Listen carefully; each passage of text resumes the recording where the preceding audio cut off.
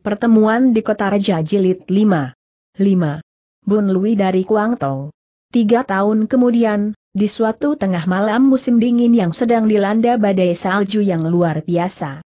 30 li di luar perkampungan hantu terletak sebuah wilayah yang bernama Dermaga Hang IIM.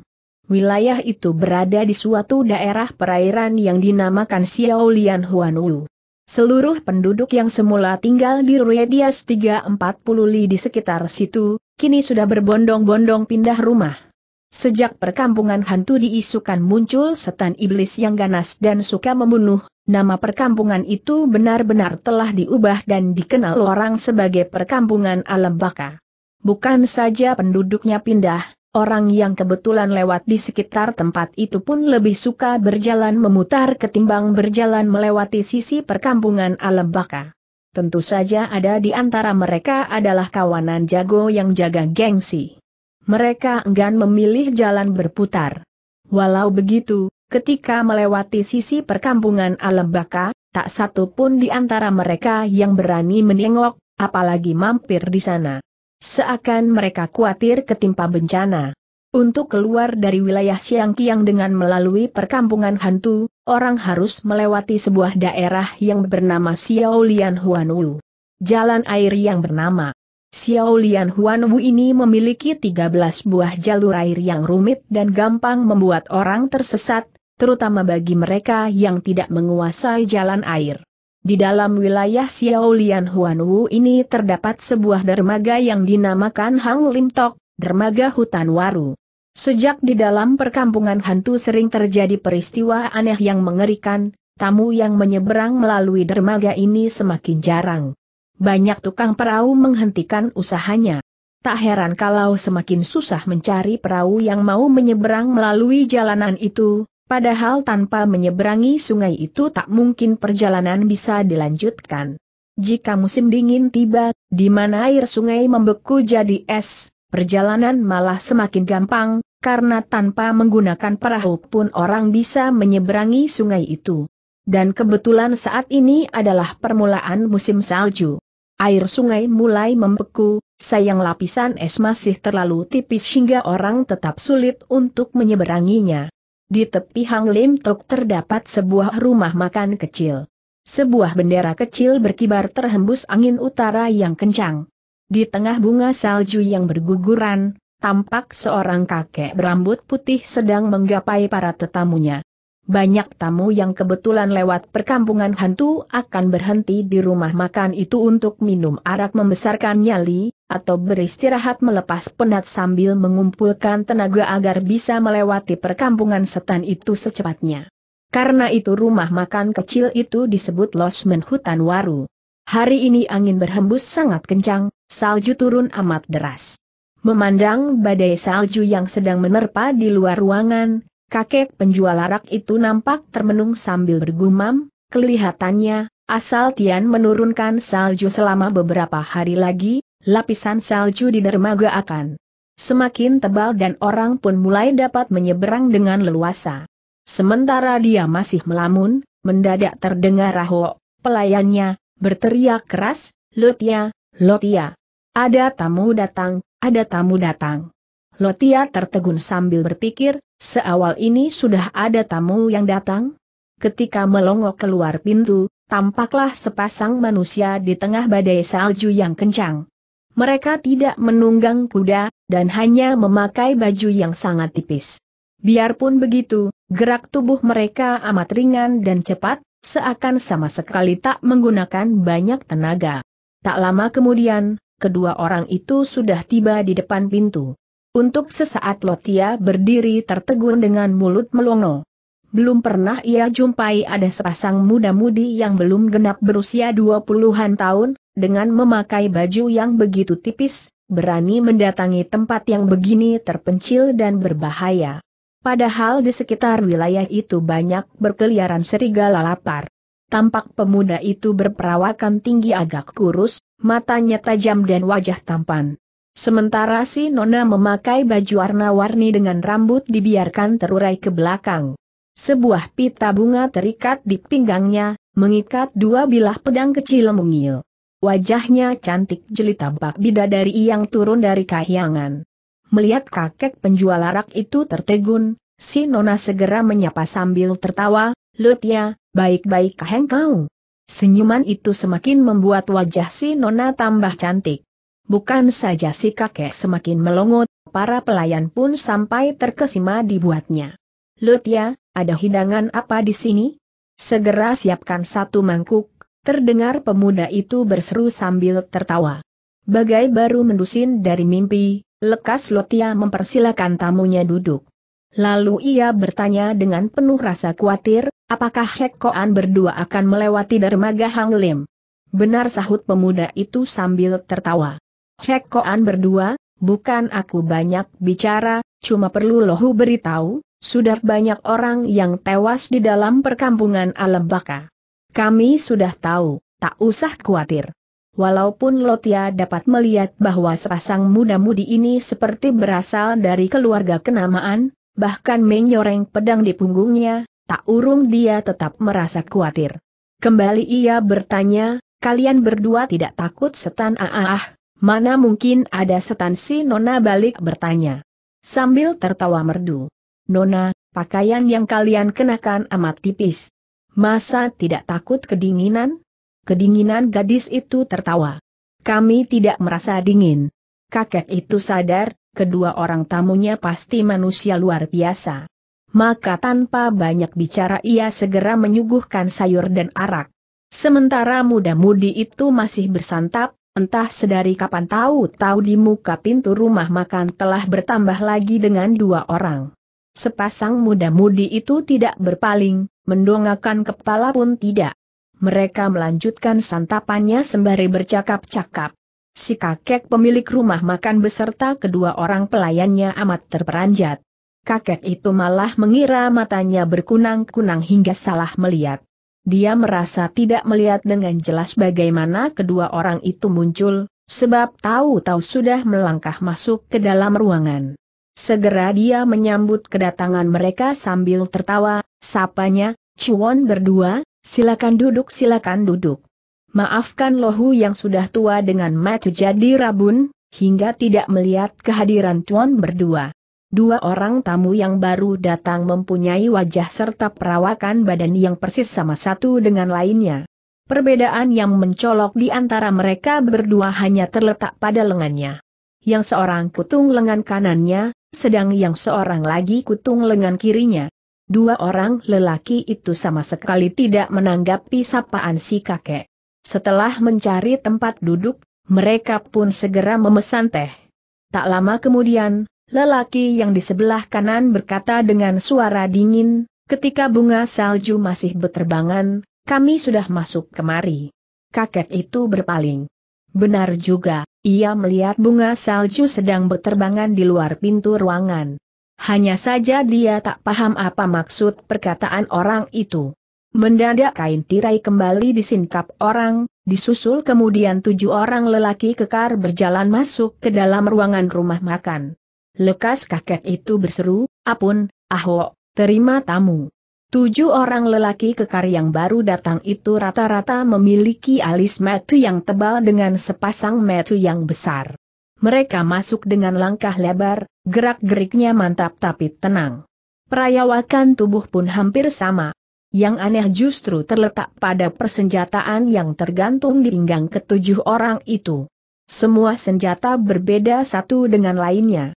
Senjata yang digunakan orang pertama adalah Liu Senjui, palu bintang kejora, orang kedua menggunakan tombak Lian Chujiang, orang ketiga bersenjatakan tombak emas sepanjang satu kaki dua depa, orang keempat memakai senjata tali lemas, orang kelima menggunakan senjata peluru geledek Lui Kong Hong, orang keenam menggunakan sepasang senjata Boan Keanpit, sedang orang ketujuh menggunakan sebuah senjata martil besi yang sangat panjang.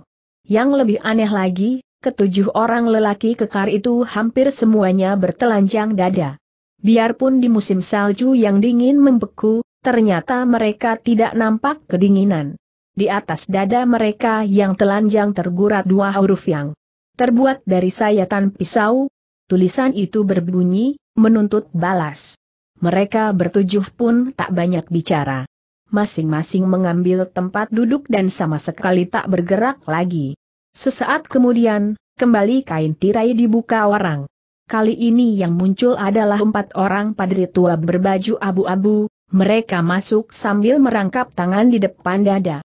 Setelah mencari tempat duduk, kawanan padri itu pun membungkam. Baru saja Lotia, Apun dan Ahok hendak melayani keperluan orang-orang itu, mendadak terdengar suara derap kaki kuda yang sangat ramai. Bersamaan dengan berhentinya kuda-kuda itu, tampak dua orang tosu tua yang menyoreng pedang di punggungnya berjalan masuk ke dalam ruangan. Ketika melihat kehadiran keempat orang padri itu, mereka segera menjura dalam-dalam. Menyusul kemudian muncul lagi seorang lelaki berpakaian sutra yang anggun gerak-geriknya. Dia minta sepoci arak dan mulai menenggak tanpa bicara.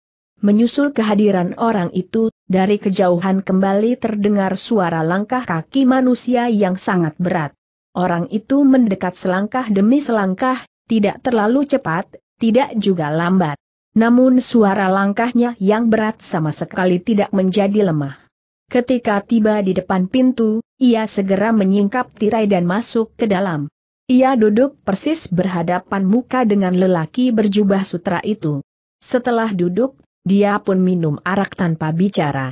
Bila ditinjau dari suara langkah kakinya yang berat dan sama sekali tidak berubah sejak dari jauh hingga berada di depan mata, bisa diketahui bahwa tenaga dalam yang dimiliki orang ini sangat luar biasa. Tanpa terasa sepasang muda-mudi itu mendongakkan kepala sambil melirik sekejap ke arah manusia berjubah hitam yang baru muncul itu, kemudian melirik pula ke arah lelaki berbaju sutra itu. Kebetulan kedua orang itu pun sedang berpaling ke arah mereka. Empat pasang sorot mata segera saling beradu satu sama lainnya. Tetapi hanya sebentar, kemudian masing-masing melengos sambil menenggak kembali isi cawan. Selama hidup belum pernah kakek pemilik rumah makan itu menjumpai peristiwa seaneh ini. Belum pernah ia mendapat kunjungan begitu banyak tamu yang aneh-aneh di tengah malam badai salju yang begini dingin. Belum sempat dia berbuat sesuatu, lagi-lagi muncul empat orang tauto yang menyelinap masuk dengan kecepatan tinggi. Hampir saja menumbuk sebuah meja besar, entah dengan care apa mereka berkelit, Tahu-tahu keempat orang padri yang memelihara rambut itu sudah duduk tenang di belakang meja itu. Setelah itu rumah makan ini secara beruntun kedatangan lagi empat orang lelaki kekar berbaju emas dan enam orang jago dunia persilatan. Dalam waktu singkat seluruh tempat duduk rumah makan itu sudah terisi penuh. Bisa dibayangkan betapa sibuknya para pelayan melayani tamu-tamunya. Entah lewat lama, Tiba-tiba dari luar pintu rumah makan muncul kembali dua orang lelaki yang menyingkap kain tirai, disusul kemudian seorang pemuda berdandan perlente berjalan masuk dengan langkah yang angkuh. Begitu masuk ke dalam ruangan, pemuda itu segera menutupi hidung sendiri sambil berseru keras, bau benar rumah makan ini. Kongcu, lebih baik ditahan sejenak, sahut lelaki yang lain sambil tertawa. Ada baiknya kita beristirahat sebentar di sini. Setelah salju menebal nanti, baru kita lanjutkan perjalanan. Betul Kongcu, sambung lelaki yang lain sambil tertawa pula, sebagai seorang pelajar paling hebat di Paksia, tempat mana lagi yang tak pernah kau kunjungi? Rumah makan kecil ini sudah terhitung sangat hoki karena bisa mendapat kunjungan kehormatan dari Kongcu. Kongcu itu menggosok botol kecil yang terbuat dari porselen ke lubang hidungnya, lalu dengan acuh tak acuh dia berjalan masuk ke dalam. Di belakang si pemuda ternyata mengikut 18 orang, ada tua ada muda. Wajah mereka kalau tidak bengis, tentu buas atau licik. Beda sekali dengan wajah Seng Kongcu, selain halus juga mirip wajah perempuan. Hanya sayang lagaknya banyak sehingga agak menyebalkan. Setelah kedua puluh orang itu masuk ke dalam ruangan, melihat semua bangku dan meja sudah dipenuhi tamu, seorang lelaki kekar yang bersenjatakan gada berkepala harimau segera tampil ke depan seraya berseru, Toa Kong Chu dari Benteng Pek, Tesia, Xiang Butian, Xiang Kong Chu telah datang. Kenapa kalian masih belum juga menyingkir? Ingin mampus semua? Suara lelaki itu nyaring, keras agak serak. Tapi walau sudah diulang berapa kali, ternyata tak seorang pun dari kawanan tamu itu yang berpaling. Dengan berang lelaki kekar itu melotot. Tapi setelah dilihatnya seluruh tamu yang hadir di situ adalah kawanan jago yang berwajah angker, dengan ketakutan segera ia tutup mulut dan tak berani bersuara lagi. Terdengar si nona berbaju warna-warni itu berkata kepada rekannya sambil tertawa, orang yang berdandan macam seorang kongcu itu adalah putra orang paling kaya di Peltesia. Ia bernama Siang Butian. Ayahnya telah mengundang beberapa orang pengawal untuk mengajar ilmu silat kepadanya. Cuma sayang, orang semacam ini tak punya bakat untuk belajar kungfu. Biar sudah berlatih tekun juga kepandaiannya sangat terbatas. Justru perbuatan bejatnya yang kian menjadi-jadi. Mendengar keterangan ini, pemuda tampan itu hanya mengangguk berulang kali. Diam-diam pemilik rumah makan beserta pelayannya bermandikan peluh dingin, sebab gadis itu berbicara cukup keras sehingga Siang Butian dapat mendengar semua perkataannya dengan jelas. Betul juga, dengan wajah gusar Kongcu Jumawa itu berpaling. Tapi sorot matanya segera berbinar begitu mengetahui yang berbicara adalah seorang gadis cantik. Amarahnya padam seketika, dengan wajah cengar-cengir ia berseru, bagus nona cantik. Kau bilang kungfuku jelek? Mari, mari, mari, ikut aku pulang untuk latihan kungfu. Nanti kau bakal tahu kalau kungfuku LNR benar bikin orang keranjingan, hehehe, bagaimana? Mendengar ucapan yang begitu kurang ajar, pemuda tampan di samping nona cantik itu segera menengok sekejap ke arah Siang Butian. Sorot metu yang begitu tajam kontan membuat Siang Butian terperanjat ketakutan. Segera kelima orang lelaki kekar yang berdiri di sisi Siang Butian berbisik lirih, Siang Kongcu, bagaimana kalau kami tangkap nona itu untuk dibawa pulang, sekalian bunuh mampus yang satu lagi?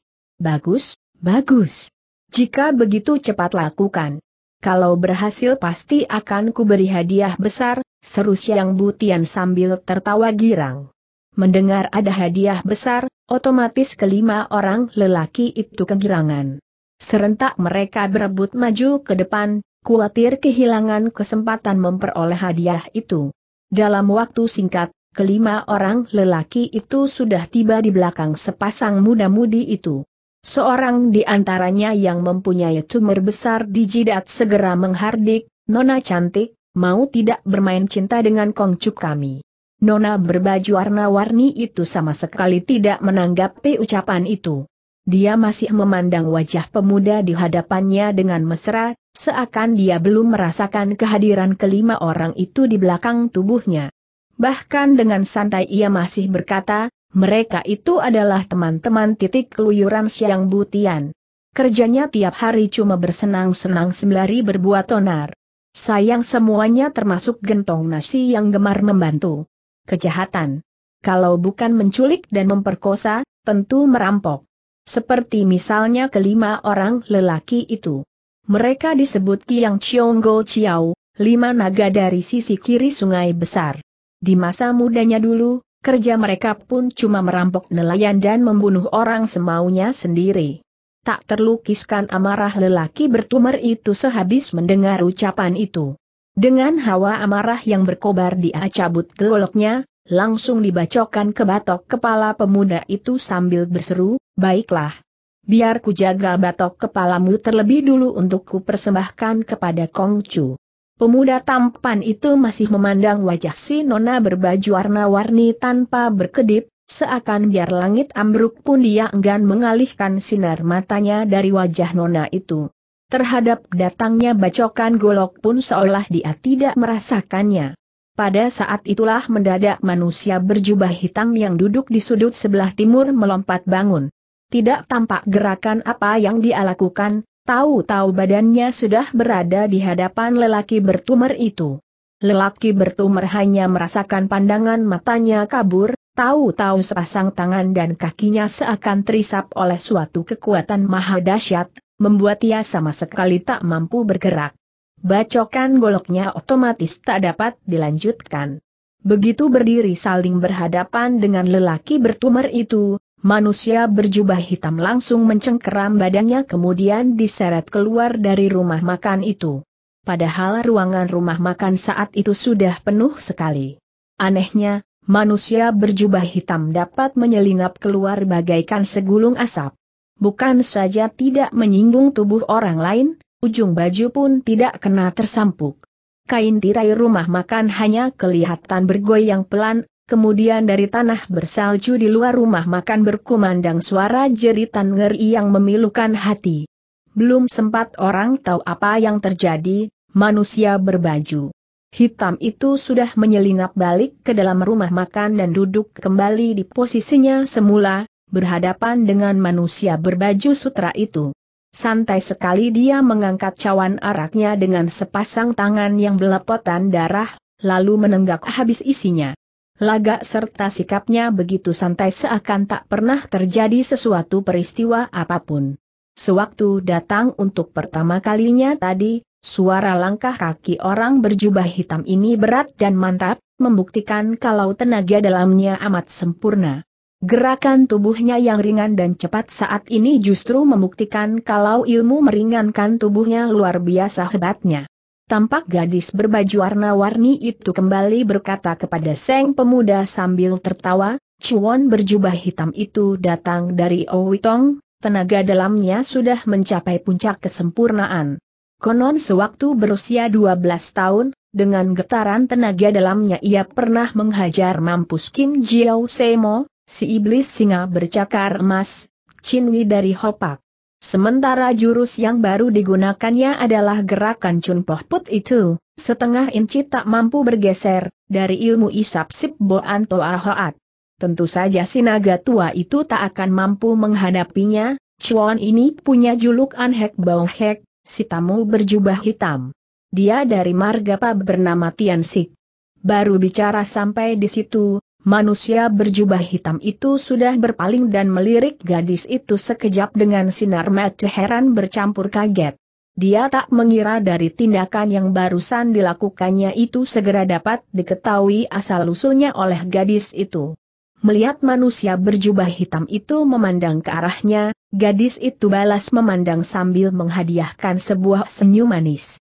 Saat itulah keempat naga dari Kiang Chiong Go Chiao seakan baru mendusin dari mimpi.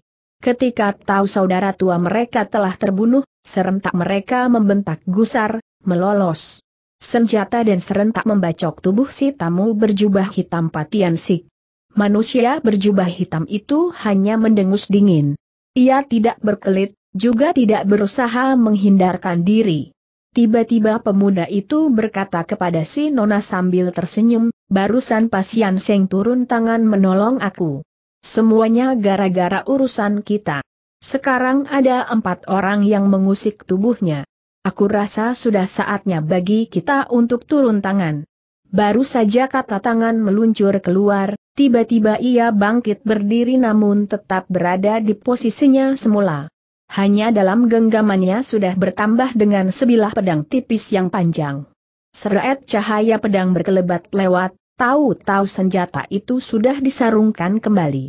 Keempat orang lelaki kekar itu hanya merasakan cahaya pedang berkilauan lewat kemudian sirap kembali. Belum tahu apa yang mesti dilakukan, tahu-tahu telapak tangan mereka terasa sakit. Ternyata sudah ditusuk oleh ujung pedang lawan yang membuat golok mereka terlepas dari genggaman. Ternyata bersamaan dengan desiran suara tajam tadi, empat buah tusukan tajam telah dilancarkan ujung senjata lawan. Selama hidup belum pernah keempat naga dari utara sungai besar ini melihat ilmu pedang secepat itu. Sampai telapak tangan mereka berdarah dan senjata terlepas dari genggaman, baru merasa kesakitan. Tak kuasa lagi, jeritan keras bergema di seluruh ruangan. Dengan sikap hambar pemuda itu duduk kembali. Di pihak lain, tamu berjubah hitam Patian Sik melirik ke arah pemuda itu sekejap dengan sorot mata, terperanjat bercampur heran. Kepada lelaki berbaju sutra di hadapannya ia segera berseru memuji, ilmu pedang yang hebat. Saat itulah sebuah perubahan aneh kembali terjadi. Keempat naga dari sisi kiri sungai besar yang sedang bergulingan di titik itas tanah sambil menjerit kesakitan itu tahu-tahu seperti terisap oleh sebuah tenaga yang maha dahsyat. Tubuh mereka terdoing mundur hingga akhirnya membentur pintu gerbang rumah ham ikan. Siapa yang telah melancarkan tenaga isapan yang maha dahsyat itu sehingga membuat keempat orang itu terbetot mundur? Dengan perasaan terkesima semua orang mendongakkan kepalanya sembari berpaling. Entah sedari kapan, di dalam rumah makan itu telah berdiri seorang kakek berambut perak berusia 60-an tahun. Mukanya merah membara, perawakan tubuhnya setinggi tujuh dipa dan sangat kekar berotot. Jubah yang dikenakannya berwarna merah membara bagaikan jilatan api. Sebilah kapak terselip di pinggangnya permukaan kapak berwarna hitam dan memancarkan sinar tajam, paling tidak bobotnya 5-60 kati. Kakek berjubah merah itu menarik napas sambil memutar sepasang tangannya. Dua gulung aliran hawa murni yang sangat kuat segera memancar keluar dari balik telapak tangannya, membuat tubuh keempat naga itu langsung terisap ke arahnya. Tatkala tubuh si naga ketiga dan keempat nyaris menumbuk kedua belah telapak tangannya, mendadak kakek berjubah merah itu merentangkan kedua tangannya ke dua sisi yang berbeda, kemudian dari dua meja yang berbeda dia mengambil dua batang sumpit. Pada saat itulah tubuh si naga ketiga dan keempat menumbuk tiba. Seret, seret, dua kali desingan tajam bergema, sumpit-sumpit itu langsung menghajar punggung kedua orang itu hingga tembus. Ketika naga kedua dan kelima menubruk tiba, kakek berjubah merah segera menyentil ibu jari dan jari telunjuk tangan kiri kanannya. Lagi-lagi seret, seret, dua kali desingan tajam membelah udara. Sumpit-sumpit yang semula menembus punggung naga ketiga dan keempat tahu-tahu menembus keluar melalui dada bagian depan, lalu diiringi semburan darah segar kembali menancap di dada belakang si naga kedua dan kelima. Empat kali jeritan ngeri yang memilukan hati berkumandang di udara, tahu-tahu keempat orang lelaki kekar itu sudah roboh terkapar di tanah dalam keadaan tak bernyawa. Demonstrasi yang dilakukan kakek berjubah merah itu segera membuat semua orang heboh. Dengan terkejut sorot mata semua orang dialihkan ke wajahnya. Kemampuan orang itu mengisap tubuh empat orang sekaligus dengan kedua belah tangannya sudah cukup menggetarkan hati apalagi setelah menyaksikan kemampuannya membunuh lawan dengan sepasang sumpit. Bukan cuma setiap ruas, setiap bagian dilakukan sangat cepat dan tepat. Cara kerjanya juga benar-benar telengas. Biarpun sudah membantai empat orang dalam sekejap mata, mimik mukanya sama sekali tak berubah. Yang lebih aneh lagi, gerak-gerik kakek berjubah merah itu kelihatan begitu bebal dan berat namun tak ada yang tahu sedari kapan dia tiba di dalam rumah makan itu. Bahkan siang butian sekalian yang kebetulan duduk paling dekat pun tidak merasakan. Terdengar kakek berjubah merah itu berseru lantang sambil menyapu pandang sekejap ke seluruh ruangan, Lohu adalah Jibun Lui dari Kuangtong. Begitu nama itu diucapkan, dari seluruh yang hadir ada 90% yang berubah hebat paras mukanya, termasuk juga si tamu berjubah hitam dan lelaki berbaju sutra itu. Malah kedua orang Tojin itu agak bergetar tubuhnya, keempat padri tua dari Xiao Lim juga mementang matanya lebar-lebar. Yang sama sekali tidak berubah wajahnya hanya pemuda tampan itu beserta si kakek pemilik rumah makan dan pelayannya. Nona berbaju warna-warni itu mengamati wajah Jibun Lui beberapa saat, Lalu baru bisiknya kepada pemuda tampan itu, orang ini bernama Jibun Lui, disebut juga It Hu Cheng Kuang Tong, kapak menggetarkan Kuang Tong. Tindak tanduknya di antara lurus dan sesat, wataknya keras, berangasan dan eksentrik. Namun ia belum pernah melakukan perbuatan yang melanggar norma susila. Tapi kalau dibilang soal merampok, membakar dan membunuh, sudah terlalu banyak yang dia lakukan. Konon ilmu silatnya sangat tinggi, tenaga dalamnya sempurna dan permainan kapaknya sudah mencapai tingkat yang luar biasa. Kongcu, apabila pedangmu bertemu kapaknya, kau mesti berhati-hati. Orang ini suka bekerja sendirian, dia paling benci berjalan bersama orang lain. Biarpun si Nona berbisik dengan lirih, nampaknya Jibun Lui dapat mendengar semua perkataannya dengan jelas. Mendadak ia berpaling sifat buasnya berkurang setengah. Sambil tertawa ujarnya kepada Nona itu, Nona cilik, tak kusangka kau pun mengetahui nama besar Toayamu. Ternyata Hit Hu Cheng Kuang Tong Jibun Lui tahun ini berusia 60 tahun, tapi semangatnya masih berkobar-kobar, sepak terjangnya selalu malang melintang seorang diri. Selama hidup entah berapa banyak sudah menyakiti orang persilatan. Tapi berhubung ilmu silat sangat tinggi, belum ada orang yang bisa mengalahkan dirinya. Terdengar Jibun Lui berkata lagi dengan suara nyaring bagai geledek, orang budiman tidak melakukan perbuatan gelap. Bila kedatangan Anda sekalian disebabkan urusan perkampungan alam baka, maka aku perlu memberitahu kedatanganku hanya khusus untuk mendapatkan kitab pusaka Liong Ling Pit Kip, Pekikan Naga. Bila ada di antara kalian yang punya tujuan yang sama denganku, dipersilakan untuk mempertimbangkan dulu kemampuan yang dimiliki. Bila merasa bukan tandinganku, lebih baik cepat menggelinding pergi daripada aku mesti repot-repot turun tangan. Saking keras dan nyaringnya perkataan itu, seluruh ruangan bergetar keras, atap bergoncang, debu berguguran. Dalam pada itu, di antara para begundal yang membuntut di belakang Siang Butian, sudah ada empat lima orang yang pernah merasakan kehebatan Jibun Lui, diam-diam mengeluyur pergi. Mereka tak berani mencari gara-gara lagi. Xiang Butian sendiri sebetulnya sudah keder dan pecah nyali setelah melihat kehebatan orang yang berhasil membantai lima naga secara begitu mudah. Tapi kemudian pikirnya, aku punya uang punya kekuasaan. Tidak susah mengundang jagoan agar mau berpihak kepadaku. Kenapa aku mesti takut? Maka sambil tertawa licik serunya, kepandaian silatmu memang hebat, hebat sekali. Tapi Xiao Yamu Mendadak Jibun Lui mendelik. Dengan ketakutan Siang Butian mundur tiga langkah. Belum lagi berdiri tegak, kakek berjubah merah sudah mengumpat lagi, kau si anjing busuk. Toaya tidak mengajak bicara anjing busuk macam kau. Dan, duuk sebuah pukulan dilontarkan ke depan. Padahal pukulan itu sangat biasa, lurus dan pelan. Tapi entah kenapa biarpun Siang Butian sudah berusaha berkelit, nyatanya gagal untuk menghindarkan diri. Duk Jotosan itu langsung bersarang telak dibacotnya hingga dua baris giginya patah dan mencelat keluar. Malah ada tiga empat biji berikut darah tertelan ke dalam perut. Kontan saja ia berkoar-koar gusar sambil berteriak, hajar, hajar, hajar. Pokoknya hajar sampai mampus. Waktu itu jagoan yang berada di sisi Siang Butian tinggal empat orang pengawal pribadinya. Walaupun dicuri terhadap kehebatan Jibun Lui, namun demi mempertahankan mangkuk nasi sendiri, mereka tak berani membangkang perintah majikannya. Pikirnya, biarpun tua bangka itu hebat, masa sepasang kepalanya bisa menandingi empat pasang tangan kami. Kenapa tidak dikeroyok saja? Mereka berempat pun sepakat untuk menyerang bersama. Diiringi bentakan keras, mereka menyerang orang itu dari empat penjuru.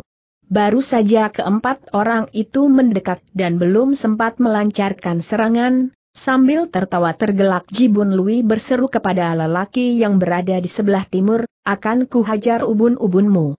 Baru saja lelaki itu tertegun, kepalan Jibun Lui sudah menghajar telah ubun-ubunnya. Tak ampun lagi, tewaslah seketika orang itu. Kembali Jibun Lui memutar badan ke arah selatan, serunya lagi, ku hajar jitiong hiatmu. Lelaki itu baru saja menyiapkan kepalan untuk menyerang. Mendengar bahwa hidungnya mau diserang, lekas ia tarik tangannya berusaha menangkis. Tapi, duk jalan darah Jitiong Hiat di bawah hidungnya sudah terhajar telak. Darah segar segera menyembur keluar dengan derasnya, tentu saja selembar nyawanya ikut melaporkan diri ke langit barat. Kini Jibun Lui sudah menoleh ke arah lelaki ketiga. Orang itu ketakutan setengah mati, apalagi setelah melihat dua rekannya dibunuh secara gampang. Belum sempat berbuat sesuatu, Jibun Lui kembali menghardik, ku hajar dadamu. Cepat lelaki itu membendung dadanya sambil menyilangkan tangan. Tapi sodokan tinju Jibun Lui tetap dilontarkan masuk. Kraak, kraak, pertahanan tangan lelaki itu seketika jebol terhantam serangan musuh. Bukan cuma pertahanannya terbuka, bahkan tulang tangannya ikut patah termakan getaran pukulan lawan. Blaam dadanya seketika terhajar telak. Sambil menyemburkan darah segar ia roboh terjengkang dan tewas seketika. Melihat semua rekannya tewas, lelaki keempat semakin ketakutan. Ia merasa tangan dan kakinya jadi lemas seketika. Tanpa malu lagi dia putar badan dan melarikan diri terbirik-birit. Ku hajar lambungmu kembali Jibun Lui menghardik. Ampun Hohan teriak lelaki itu ketakutan. Tapi, bluk. Sodokan tinju itu sudah bersarang di lambungnya.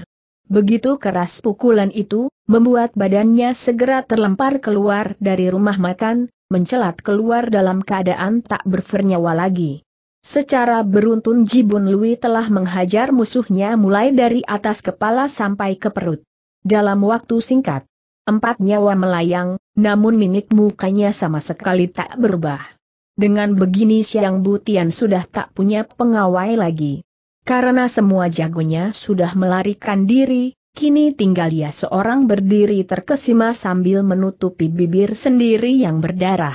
Tiba-tiba pemuda tampan itu berbangkit, katanya kepada nona berbaju warna-warni itu, hawa nafsu membunuh orang ini kelewat besar. Biar ku cegah perbuatannya lebih jauh. Lekas gadis itu menarik ujung bajunya dan minta ia duduk kembali, katanya dengan lembut, Kongcu tidak usah terburu nafsu. Keempat orang itu memang sepantasnya mati. Mereka sudah terlalu banyak membantu Siang Butian melakukan perbuatan bejat. Entah berapa banyak gadis dan wanita baik-baik yang ternoda di tangan mereka. Jadi tak salah bila hari ini mereka harus mampus di tangan Jito Ayah. Oh, pendengaran Jabun Lui amat tajam. Mendengar pemuda itu ingin beradu kepandaian dengan dirinya, ia jadi kagum dengan keberanian orang. Segera ditengoknya sepasang muda-mudi itu sekali lagi, mendadak seperti teringat akan sesuatu, segera ujarnya sambil tertawa, kukira siapa yang begitu bernyali, rupanya Xiao Chechu dari benteng Lam Che, yang disebut empat keluarga besar dunia persilatan In Seng Hong, kalau begitu nona ini tentulah Jane Hui, si awan pelangi terbang, Li Hiap. Tidak berani, tidak berani, segera pemuda itu menjura. Begitu bangkit, terlihatlah perawakan tubuhnya yang tinggi semampai, potongan tubuh yang atletis dan gagah. Diam-diam semua orang bersorak kagum akan kegagahan orang ini. Rupanya dalam dunia persilatan terdapat Tian Hi Sem Toa, tiga paling besar di kolong langit. Ketiga besar itu adalah Tian Hi Tet Pang, perkumpulan nomor wahid, di kolong langit Tiang Xiao Pang, perkumpulan tertawa panjang, Tian Hi Tet Cheng, perkampungan nomor wahid, di kolong langit Sikiam Cheng, perkampungan mencoba pedang, serta Tian Hi. Tet Kiok, perusahaan ekspedisi nomor wahid, di kolong langit Hang Im Piao Kiok, perusahaan ekspedisi angin dan awan. Selama ini Tiang Xiao Pang selalu berseberangan dengan Si Kiam Cheng, hingga akhirnya sama-sama kehabisan jago dan tumbang dengan sendirinya. Kini yang tersisa hanya Hang Im Piao Kiok. Hang Im Piao Kiok sebagai Piao Kiok terbesar di kolong langit, memiliki banyak jago andalan. Tapi kekuatan yang paling utama justru datang dari Bulim Suto Ake, empat keluarga besar dunia persilatan yang terdiri dari Tangpo, Benteng Timur, Lamce, Benteng Selatan, Setin, Kota Barat, dan Pakcia, Kota Utara. In Seng Hong, meski baru berusia 21 tahun, namun dia tak lain adalah Cecu yang baru diangkat dari Lam Che. Biar masih muda, In Seng Hong mempunyai julukan Kitiam, si sambaran kilat, yang melukiskan betapa cepatnya gerakan tubuh, gerakan pedang serta jurus serangan yang dimiliki. Sejak kecil ia sudah tekun belajar bun, sastra, maupun bu, ilmu silat, tanpa mau memikirkan persoalan lain. Yang dia tekuni selama ini hanya satu kata, kecepatan. Dengan bakatnya yang bagus, ditambah kemauan yang besar untuk berlatih tekun, tak heran kalau ilmu silatnya memperoleh kemajuan yang luar biasa.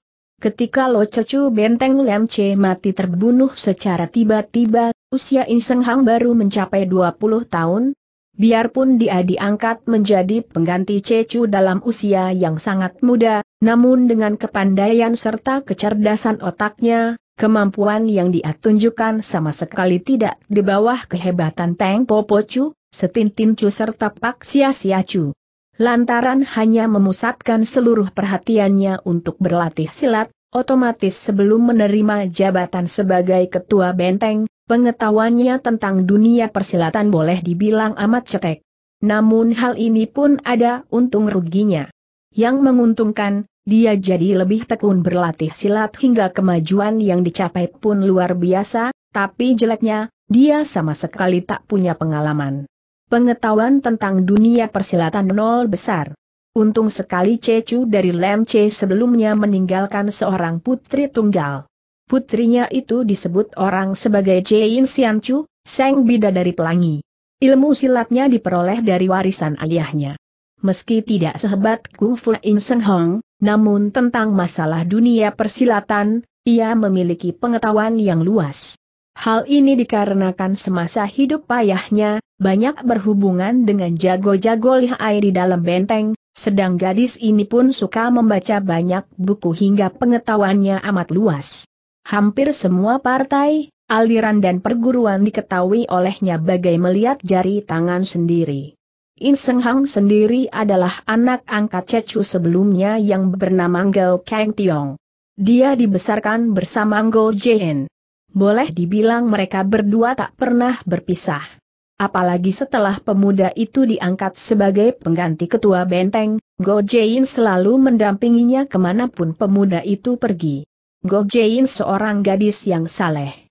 Dari ayahnya dia mempelajari dua macam kepandaian, ilmu pedang dan ilmu meringankan tubuh. Tapi lantaran dia seorang gadis yang baik budi, selama ini tak pernah mau membunuh orang.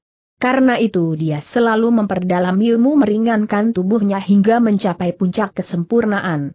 Itulah sebabnya orang persilatan menjulukinya sebagai bidadari pelangi.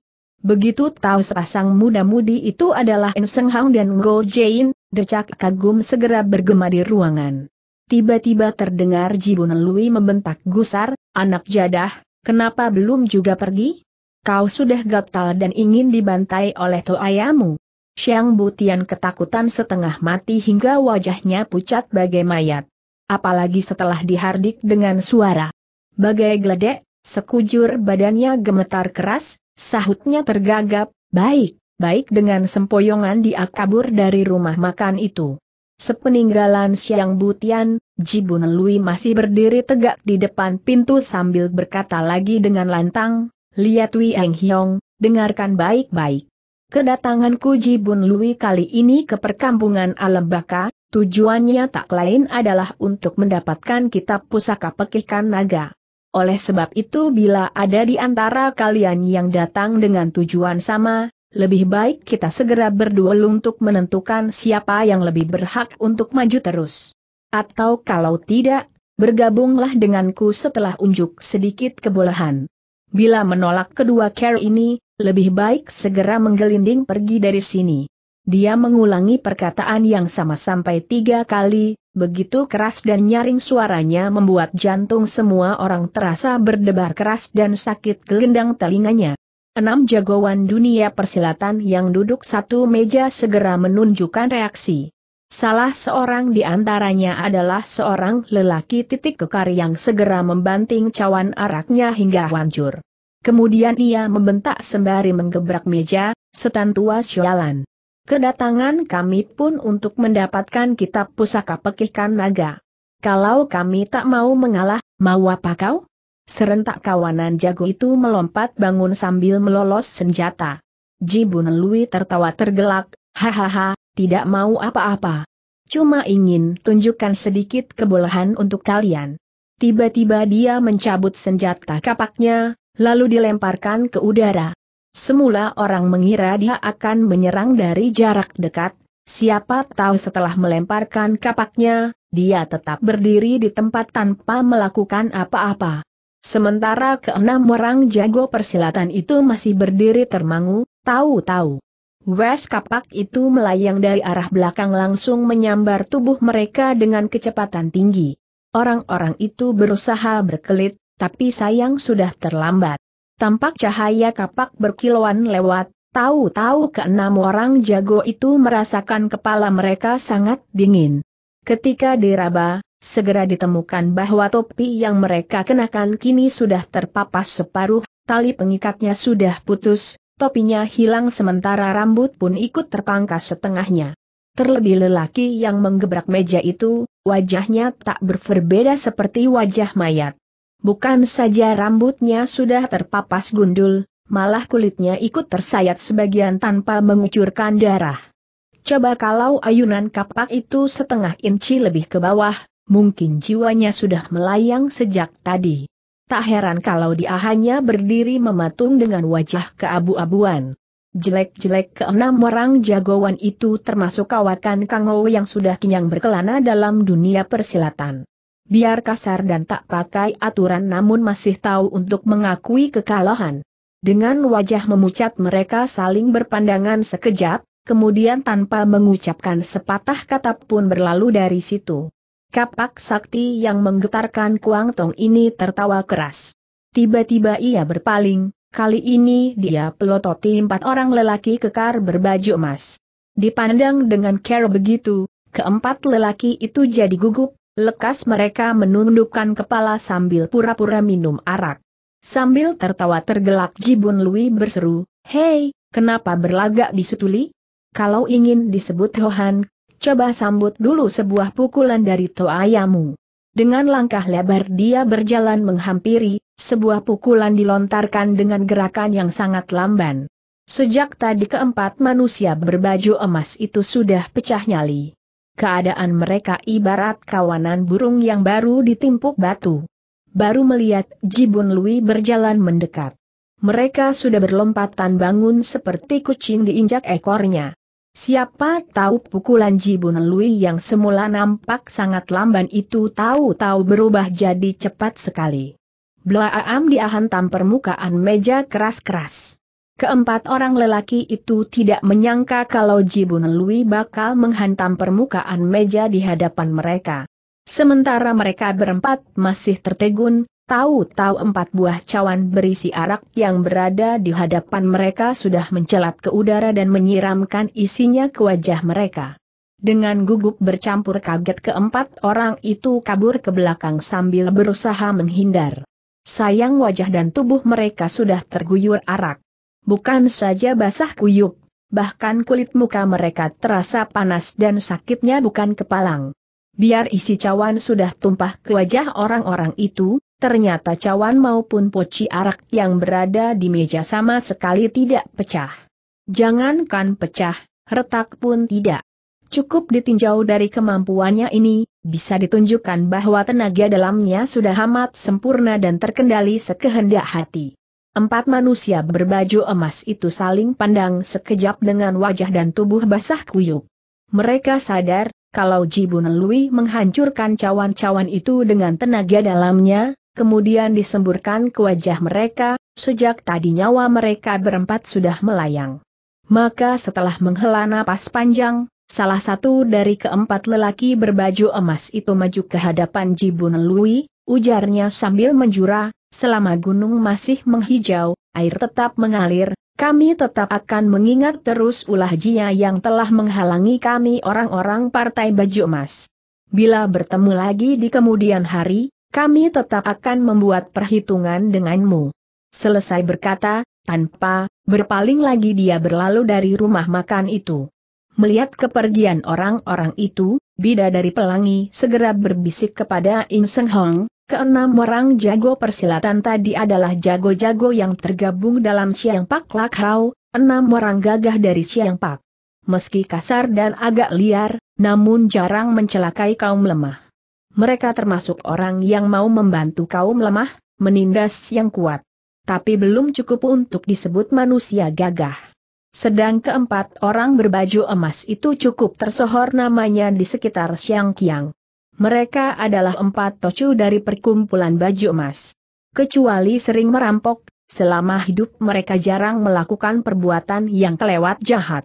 Tampaknya Jito Ayah sangat bijaksana dalam menjatuhkan hukumannya, tidak seperti apa yang disiarkan selama ini. Katanya dia adalah iblis yang membunuh orang tanpa berkedip.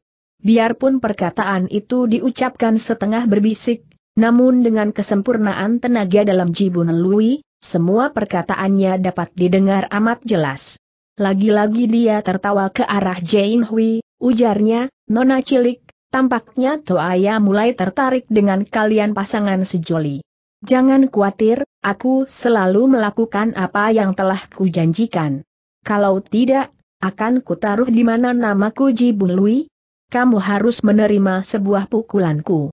Cuma ingat, jika tak kuat lebih baik tak usah diterima dengan keras melawan keras.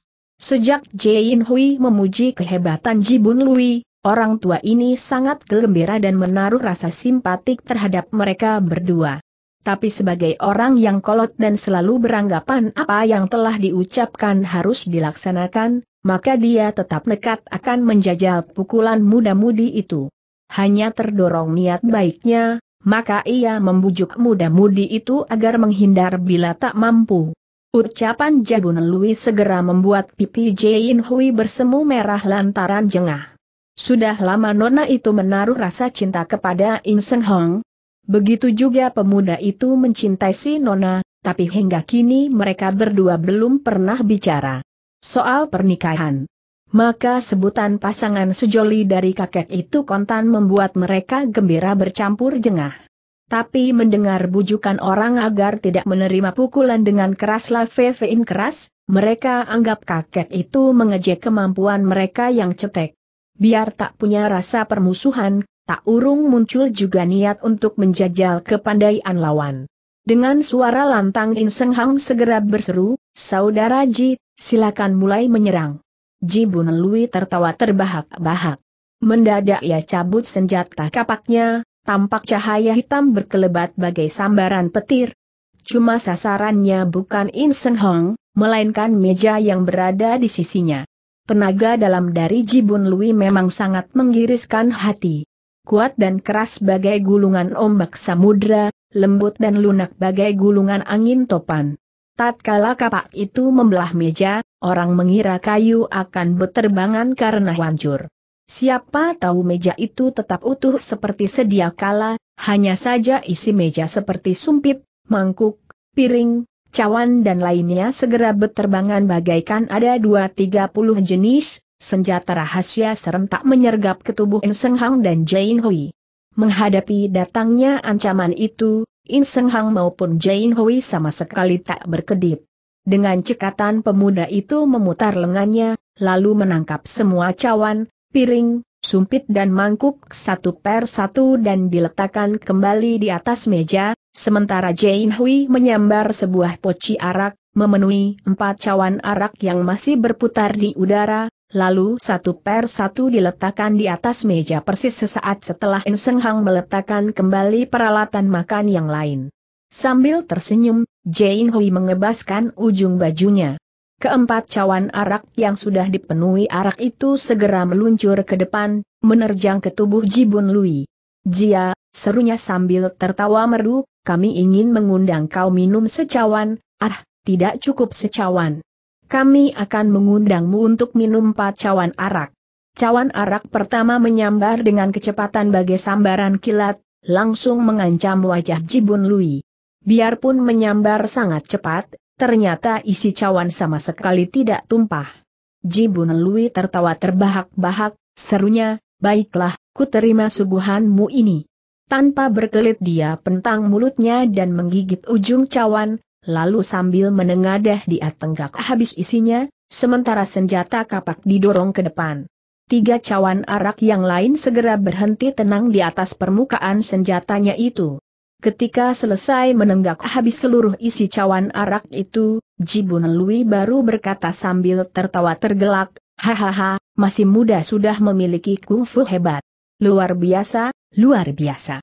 Kelihatannya, biarpun aku enggan didampingi kalian berdua, rasanya juga tak mampu untuk mencegah kalian tetap ikut pergi. Selesai berkata, kembali dia tertawa tergelak seraya membalik badan dan berlalu dari situ. Padahal diam-diam ia sangat terkejut. Dia tak menyangka kalau kepandaian silat kedua orang itu luar biasa hebatnya. Sejak menghajar musuh-musuhnya tadi, baru In Seng Hang seorang yang mampu mengimbangi kehebatan ilmu kapaknya. Semisal harus bertarung satu lawan satu, mungkin menang kalah susah ditentukan. Tapi jika In Seng Hang dibantu Jane Hui, jelas dia bakal menderita kekalahan. Sambil menenteng kapaknya, Jibun Lui berjalan menuju ke hadapan keempat orang Hwasyo Xiao Lim Si. Empat orang padri itu segera merangkap tangan di depan dada, salah seorang di antaranya, seorang padri tua dengan sorot mata tajam, segera bangkit seraya berkata, Jisicu, lolap sekalian datang kemari karena ingin mencari tahu jejak keempat murid kami yang hilang di perkampungan hantu sejak tiga tahun berselang. Jadi Lolat bukan datang untuk mencari kitab pusaka pekihkan naga. Harap Lisicu tak usah khawatir. Para padri Xiao Limbe ini bukannya juri terhadap Jibun Lui. Sebagai orang yang beribadah, mereka segan mencari kemenangan karena hal yang sepele. Oleh sebab itu sebelum terjadi kerisuhan, mereka mengutarakan dulu tujuan kedatangannya. Jibun Lui segera manggut-manggut, katanya, ya, benar. Tiga tahun berselang memang ada empat Hosyo muda dari Xiao Limbe yang lenyap di dalam perkampungan hantu. Aku percaya sebagai padri, kalian tak berakal berbohong. Asal bukan lantaran kitab pusaka pekihkan naga, aku pun tak ada urusan dengan kalian. Selesai berkata dia ganti menghampiri kedua orang Tosu. Sebetulnya kedua orang Tosu tua itu ingin sekali menjajal kepandaian orang. Tapi melihat para padri Xiao Limbe berusaha menghindari pertarungan, maka mereka pun segera bertukar pandang sekejap. Lalu salah seorang di antaranya berkata, Jisicu, Pinca berdua juga datang kemari lantaran Butong Sam Chu yang lenyap di dalam perkampungan hantu tiga tahun berselang. Pinca berdua tak ada sangkut pautnya dengan kitab pusaka pekihkan naga. Jibun Lui memperhatikan sekejap kedua orang Tosu itu, Kemudian katanya, Butong Pei sebagai partai kaum lurus tak nanti punya murid yang suka berbohong. Kalau toh tak ada hubungannya dengan kitab pusaka pekihkan naga, tentu saja Toaya akan melewati jalanan yang kuantu sendiri. Kalian hidung kerbau melewati jembatan Tokbok kalian. Mendengar ejekan yang tak sopan itu, salah seorang di antara Tosu tua itu bangkit dan bersiap mengumbar amarah. Tapi dengan cepat rekannya menahan sambil memberi kode. Terpaksa Tosu itu pun mengurungkan niatnya, sebab mereka tahu Jibun Lui yang sepak terjangnya mirip orang gila ini sesungguhnya memiliki ilmu silat yang luar biasa. Sementara itu Jane Hui telah berbisik kepada In Seng Hang dengan suara lirih, keempat orang Hwasyo tua itu adalah para penilik ruang Tatmuan yang amat termasyhur. Konon Liong, Hao, Piao dan Pa, empat padri sakti Xiao Lim Si telah lenyap dalam perkampungan hantu. Keempat padri tua itu tak lain adalah guru mereka. Ilmu silat mereka luar biasa. Sedang kedua orang toti yang dari Butong Pe itu adalah para suheng Butong Sam Chu yang ikut lenyap dalam perkampungan hantu. Yang seorang bernama Ching Xiong Chu, orangnya keras, berangasan dan telengas, sedang yang seorang lagi bernama Ching Leng Chu, orangnya tenang dan pandai membawa diri. Dalam pada itu Jibun Lui sudah berjalan menuju ke hadapan tujuh orang lelaki yang bagian dadanya bertato tulisan balas dendam. Melihat kemunculan jago tangguh ini, diam-diam ketujuh lelaki itu menggenggam senjata masing-masing. Tiba di hadapan mereka, Jibun Lui segera berkata, apakah kalian sudah mendengar perkataan Toayamu? Walaupun di hati kecilnya ketujuh orang lelaki itu agak jeri terhadap kehebatan ilmu silat Jibun Lui, namun mereka bertujuh termasuk orang yang enggan mengaku kalah di hadapan orang lain. Biar tahu bukan tandingan lawan, mereka enggan menyerah begitu saja. Melihat orang-orang itu cuma membungkam, Jibun Lui segera menegur lagi dengan suara dingin, apakah kedatangan kalian dikarenakan kitab pusaka pekih kanaga? Baru saja akan turun tangan, mendadak terdengar Jain Hui berseru, tunggu sebentar. Ada apa? Kepada kawanan jago itu si Nona bertanya, apakah Toako sekalian datang dari Soat Se? Tujuh orang lelaki kekar itu saling bertukar pandang, belum sempat menjawab, terdengar Jain Hui kembali bertanya sambil tertawa, apakah guru kalian adalah Sipkot Tui Hun Jiu si tangan pengejar Sukma Kok Cikeng, Kok Ciampu? Benar, dari mana Nona tahu sahut ketujuh lelaki itu hampir serentak, sikap hormat si Nona terhadap guru mereka menimbulkan perasaan simpatik orang-orang itu terhadapnya. Kembali Jain Hui tertawa. Dari senjata yang kalian gembol, aku sudah dapat menduga siapa kalian semua. Senjata milik kalian sangat istimewa. Meski berbeda senjata, namun gerakan tubuhnya serupa. Jelas berasal dari perguruan yang sama, padahal hanya guru kalian yang menguasai berpuluh macam senjata sekaligus di dunia saat ini. Bila ditinjau dari tato di dada kalian yang bertuliskan balas dendam, Bukankah kedatangan kalian untuk membalaskan dendam kematian Koe Chiampu? Jito Ayah, aku rasa mereka bukan datang untuk mencari kitab pusaka pekihkan naga. Benar, seorang lelaki yang menggunakan senjata gur di berantai menjawab sambil tertawa, kedatangan kami memang untuk membalaskan sakit hati guru kami. Tiba-tiba ketujuh orang lelaki itu bersama-sama merentangkan dada mereka dan memperlihatkan tato di depan dada seraya berkata, kami bersepuluh dididik dan dibesarkan suhu sedari kecil. Tak disangka Lojit, Lopat dan Lohiu melakukan perbuatan laknat sehingga merusak nama baik perguruan. Gara-gara itu pula suhu terpaksa harus berangkat ke perkampungan hantu untuk melakukan penyelidikan yang berakhir dengan lenyapnya jejak guru. Bisa jadi beliau telah dicelakai ketiga binatang itu. Kalau guru kami saja celaka, dengan kepandaian silat yang kami miliki, apa pula yang bisa diperbuat? Tak mampu membalas dendam bagi guru kami membuat kami malu hidup sebagai manusia. Maka sejak tiga tahun berselang kami sayatkan tulisan balas dendam di dada kami dengan maksud agar kami selalu teringat dendam ini. Tapi hari ini, bicara sampai di sini, Tiba-tiba ia berhenti dan menghela napas panjang.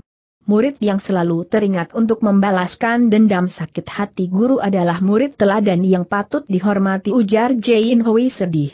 Konon gara-gara ingin balas dendam, kalian telah berlatih tekun hampir tiga tahun lamanya dan sekarang kemampuan kalian sudah jauh di atas kemampuan Koklo Ciampul. Kejadian semacam ini patut digirangkan.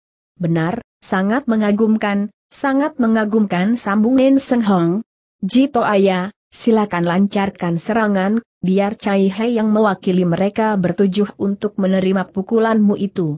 Lelaki yang bersenjatakan peluru geledek segera tampil ke muka seraya berteriak keras, biarpun sebagai murid si tangan pengejar Sukma, kepandaian kami belum becus dan bukan tandingan orang, bukan berarti kami adalah pengecut yang takut mampus. Kami siap menerima pengajaran dari Ji Xian Seng.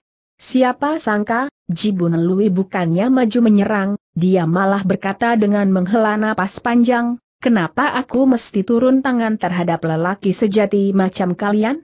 Biar berlutut sambil memohon pun belum tentu aku mau turun tangan. Betapa senang hatiku bila muridku juga memiliki semangat macam kalian. Baiklah, karena kalian tak punya minat dengan kitab pusaka pekih kanaga, buat apa aku mesti menyerang kalian? Selesai bicara, ia segera berjalan pergi dari situ. Melihat kakek itu tidak merecoki mereka, diam-diam ketujuh jagoan itu bersyukur dalam hati, sedang Jain Hui pun berpendapat bahwa Jibun Lui bukan orang yang tidak bisa membedakan mana yang benar mana salah. Saat ini selain In Seng Hang dan Jain Hui yang sudah bertarung melawan Jabun Lui, empat Padri Xiao Lim dan dua Tosu Butong yang tidak usah bertarung karena tak berniat dengan kitab pusaka pekih kanaga, kemudian tujuh jago pencari balas dendam yang dianggap sebagai ksatria sejati, dalam rumah makan itu tinggal si tamu berjubah hitam, lelaki berbaju sutera, empat orang tauto serta dua lelaki berlengan buntung yang belum menunjukkan sikap. Ketika melihat Jibun Lui berjalan mendekat, keempat orang tauto itu segera merasa keder, meski dalam penampilan berusaha tetap bersikap tenang. Sementara paras muka si tamu berjubah hitam sudah berubah hijau membesi, Si lelaki berbaju sutra bersikap acuh sambil menenggak minuman, sedangkan manusia berlengan buntung itu menunjukkan sikap yang dingin. Hawa membunuh telah menyelimuti wajahnya.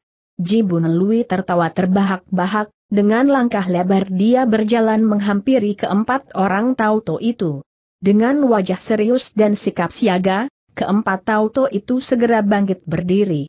Jelas mereka sudah meningkatkan seluruh kewaspadaannya. Terdengar Jain Hui berbisik kepada In Seng Hang dengan suara lirih, keempat orang Tauto ini sebetulnya berasal dari Wan Tiong. Ilmu silat mereka tinggi dan tersohor sebagai empat perampok ulung. Yang pertama bernama Sam Chiat Kun, si tongkat tiga ruas, si tong, orang kedua bernama Pong Pian Jan, si sekop kelancaran, Kong Chi Si, orang ketiga bernama Toh Hun Leng, kelentingan pencabut nyawa, Hoa Pian dan orang keempat bernama Heng Jian Li, si pejalan ribuan Li, Fang Kukian. Suatu kali mereka pernah merampok sebuah kuda mestika di Wontiong, sehingga menggegerkan empat opas yang tersohor itu. Karena dikejar terus hingga terdesak, akhirnya mereka menyamar menjadi empat orang Tauto dan menyelinap ke wilayah Siangkiang untuk menghindar dari penangkapan tak terlukiskan rasa kaget keempat orang Tauto itu setelah mendengar penjelasan si Nona. Dengan perasaan terkesiap mereka berpikir, dari mana dia tahu sepak terjang kami? Kalau seorang Nona pun tak dapat dikelabui, mana mungkin penyamaran kami bisa mengelabui empat opas yang tersohor itu? Mimpi pun mereka tidak menyangka kalau gadis itu bisa menebak asal-usulnya karena melihat dari senjata yang mereka gunakan. Wajah boleh diubah, dan danan bisa disamarkan. Tapi kalau sudah terbiasa menggunakan senjata andalan, mau menyamar sebagai apa pun, senjata yang digunakan tetap sama saja. Terdengar Jibun Lui tertawa tergelak sambil berseru, hahaha, bagus, bagus sekali. Rupanya kalian adalah burung-burung yang lepas dari jaring para opas. Lihat kapak. Sambil menghardik keras, sebuah bacokan langsung dilontarkan. Ketika Sitong, Kong Chi Si dan kawan-kawan menyaksikan sabetan kapak itu tidak langsung mengarah ke tubuh mereka, diduganya Jibun Lui kembali akan menggunakan taktik lama dengan menggetarkan mangkuk sumpit di meja untuk ditimpukan ke arah mereka. Seret desingan tajam menderu di udara, di antara kilauan cahaya kapak tiba-tiba permukaan meja ambles ke bawah. Perubahan ini terjadi sangat mendadak dan sama sekali di luar dugaan siapa pun. Ternyata dalam sambaran kapak tadi secara beruntun Jibun Lui telah menebaskan kapaknya sebanyak empat kali dengan empat perubahan yang berbeda. Namun lantaran kelewat cepat, suara yang ditimbulkan juga seakan hanya satu kali. Padahal pada saat itulah metu kapak telah memotong kutung keempat kaki meja itu. Dengan amblasnya permukaan meja, seketika semua piring, cawan dan teko arak pun berhamburan ke empat penjuru dan mengotori tubuh mereka semua. Sitong berempat bukan jagoan yang berilmu cetek. Sadar gelagat tidak menguntungkan, mereka segera mendengus dingin, senjata dalam genggaman langsung diputar dan masing-masing menahan satu sudut meja sehingga permukaan meja yang nyaris tumbang itu segera tertahan di udara. Jibun Lui tertawa nyaring, kembali kapaknya dilontarkan secepat sambaran halilintar. Di saat Sitong berempat berhasil menahan permukaan meja dengan senjata masing-masing, ayunan kapak Jibun Lui kembali menyambar tiba. Sitong, Hoa Pian, Kong Chi Si serta Fang Kukian terkesiap. Baru saja mereka hendak mengayunkan senjata untuk menangkis, mendadak terdengar. Belum permukaan meja tahu-tahu sudah terbelah jadi dua, terbelah persis di tengah dan roboh ke lantai. Bersamaan itu pula cahaya hitam lenyap dari pandangan. Ternyata ayunan kapak Jibun Lui barusan adalah untuk membelah permukaan meja. Dengan terpapas kutungnya meja itu, otomatis guyuran arak dan sayur sekali lagi menyiram tubuh keempat orang itu. Ketepatan Jibun Lui memanfaatkan kesempatan, ketepatannya menggunakan tenaga serta kecepatan gerak serangan kapaknya benar-benar menggidihkan hati. Untuk sesaat Sitong berempat hanya bisa berdiri dengan wajah keabu-abuan. Untuk sesaat mereka tidak tahu apa yang mesti diperbuat. Terdengar Jibun Lui tertawa terbahak-bahak sambil berseru, Hahaha, bagus, bagus sekali. Kalian berempat ternyata sanggup menahan sejurus seranganku. Biarpun tujuan kedatangan kalian demi kitab pusaka pekih kanaga, aku tetap akan mengizinkan kalian turut serta. Rupanya keberhasilan keempat orang itu menahan permukaan meja hingga tak jatuh pada serangan pertama telah mengagumkan hati kakek ini. Meski kemudian ia berhasil membelah meja itu jadi dua, namun serangan yang dipakai adalah jurus serangan yang kedua. Sebagai seorang yang pegang janji, tentu saja dia tak ingin menjilat ludah sendiri. Maka dengan langkah lebar dia mendekati dua jagoan berlengan kutung itu. Dengan wajah amat serius kedua orang jagoan berlengan kutung itu melompat bangun. Lelaki yang di sebelah kiri segera berseru, Kau Hun, si penggaet Sukma, Chiu. Lelaki yang di sebelah kanan segera menyambung, Pohun, si pembetot nyawa, Sim Set. Kami datang untuk mendapatkan kitab pusaka pekih kanaga, sambung yang kiri. Orang Siji, kau boleh mulai menyerang, lelaki yang di sebelah kanan menambahkan. Kedua orang itu berbicara saling sambung menyambung, satu kerjasama yang amat rapi dan serasi sehingga membuat semua yang hadir melengak dibuatnya. Rupanya Kaohun Pohun dua bersaudara sudah kacat badan semenjak lahir. Karena selalu dipandang remeh orang lain, mereka bertekad berlatih silat dengan tekun dan gigih sehingga akhirnya berhasil meyakinkan ilmu silat yang hebat. Bagus, bagus sekali seru Jibun Lui sambil tertawa keras, sebuah pukulan langsung dilontarkan. Dia tahu kedua orang bersaudara ini tidak gampang dihadapi, maka dalam melontarkan serangannya dia telah menggunakan tenaganya hingga mencapai enam bagian. Kao Hun Sim Chiu dan Po Hun Sim Set tertawa dingin, Secara beruntun mereka melancarkan sebuah pukulan. Ketika ketiga gulung tenaga pukulan itu saling bentur di udara, seharusnya terjadi suara benturan yang keras. Tapi kenyataannya sama sekali tak ada suara. Jibun Lui merasa tenaga pukulannya bagai kerbau lumpur yang kecebur di laut, hilang lenyap tak berbekas. Kenyataan ini membuatnya terkejut. Sejak terjun ke dunia persilatan, belum pernah ia jumpai peristiwa semacam ini. Pada saat yang bersamaan Sim Chiu dan Sim Set mengayunkan kutungan lengan mereka bersama-sama, segulung tenaga pukulan yang sangat dahsyat langsung menggulung ke tubuh Jibun Lui. Sebagai seorang jago kawakan yang banyak pengalaman, Jibun Lui segera sadar apa yang terjadi. Rupanya kedua orang bersaudara itu telah menggunakan sejenis ilmu pukulan yang istimewa untuk menggiring tenaga pukulan yang dilontarkan itu ke samping, kemudian melalui lengan mereka yang disertai tenaga pukulan, kedua orang itu membalikan ke arah tuannya. Dengan begitu berarti ada tiga gulung tenaga pukulan yang sangat kuat langsung menerjang tubuh Jibun Lui. Menghadapi ancaman seperti ini Jibun Lui membentak keras, wajahnya memerah bagai pantat babi, cambangnya berdiri bagaikan duri. Dengan mengerahkan 12 bagian tenaga dalamnya, ia song-song datangnya serangan itu dengan keras lawan keras. Blaam diiringi benturan keras yang menggetar sukma, tubuh Jibun Lui bergetar keras. Pasir dan debu berguguran dari atas atap rumah, sementara dua bersaudara Sim terdesak mundur tiga langkah dengan sempoyongan. Walaupun telah berusaha menahan diri, tak urung mereka mundur lagi sejauh tiga langkah dengan wajah pucat keabu-abuan. Huiji, terdengar Inseng Hang berbisik, aneh benar jurus serangan yang digunakan dua bersaudara ini. Dari aliran mana ilmu silat mereka? Jurus serangan itu bukan berasal dari aliran mana pun, tapi hasil ciptaan mereka sendiri, sahut Jain Hui sambil tertawa. Dengan sebuah tangan memancing tenaga pukulan lawan, lalu menggunakan lengan mereka yang sebelah, berikut tenaga pukulan sendiri balik dilontarkan ke tubuh lawan. Jarang ada yang mampu menghadapi serangan itu. Mereka sebut ilmu itu sebagai Aito Andit KHI, Kain, ilmu aneh lengan kutung. Biarpun Jibun Lui berhasil memukul mundur dua bersaudara Sim, namun yang digunakan adalah pukulan kedua. Bukan cuma begitu, bahkan pihak lawan masih sanggup melancarkan serangan balasan yang mesti dihadapi dengan menggunakan segenap kekuatan yang dimiliki.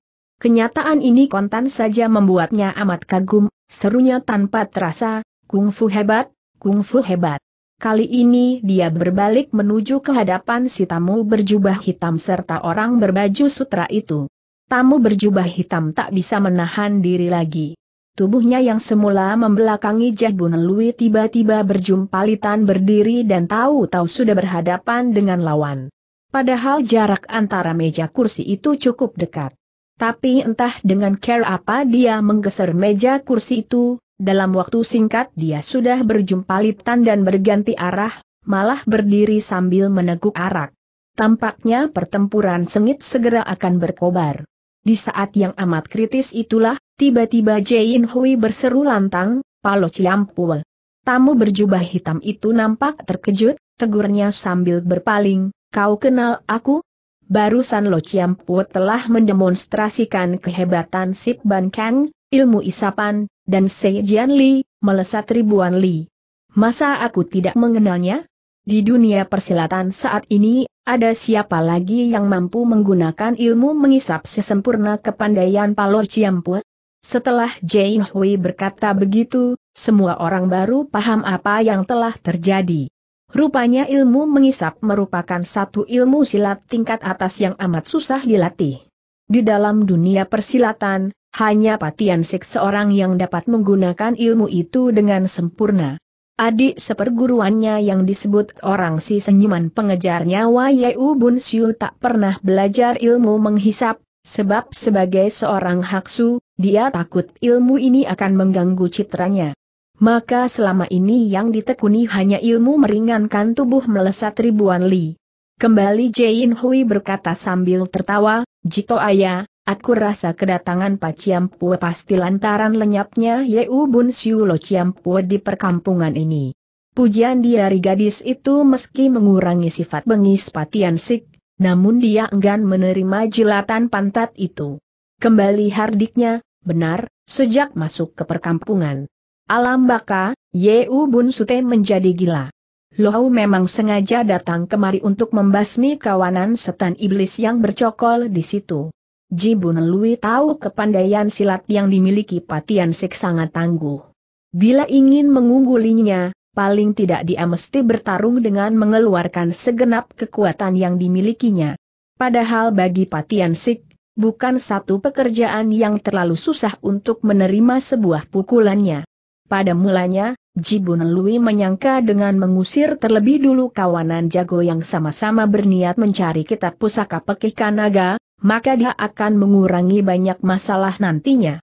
Siapa tahu bukan saja dia harus menghadapi In Seng Hong, Jane Hui, dua bersaudara Sim dan Patian Sik, bahkan kemampuan Si Tong, Kong Chi Si, Hoap Pian serta Fang Kukian pun sangat tangguh. Masih ditambah empat padri Xiao Lim Si dan dua Tosu Butong. Maka bila dia nekat ingin beradu tenaga dengan mereka, besar kemungkinan justru dia sendiri yang bakal rugi. Maka sambil tertawa tergelak ujarnya, baiklah Patian Sik, jika kedatanganmu lantaran urusan si sastrawan gila, rasanya Toaya juga tak perlu banyak urusan denganmu. Maka dia pun berjalan menghampiri lelaki berbaju sutra itu.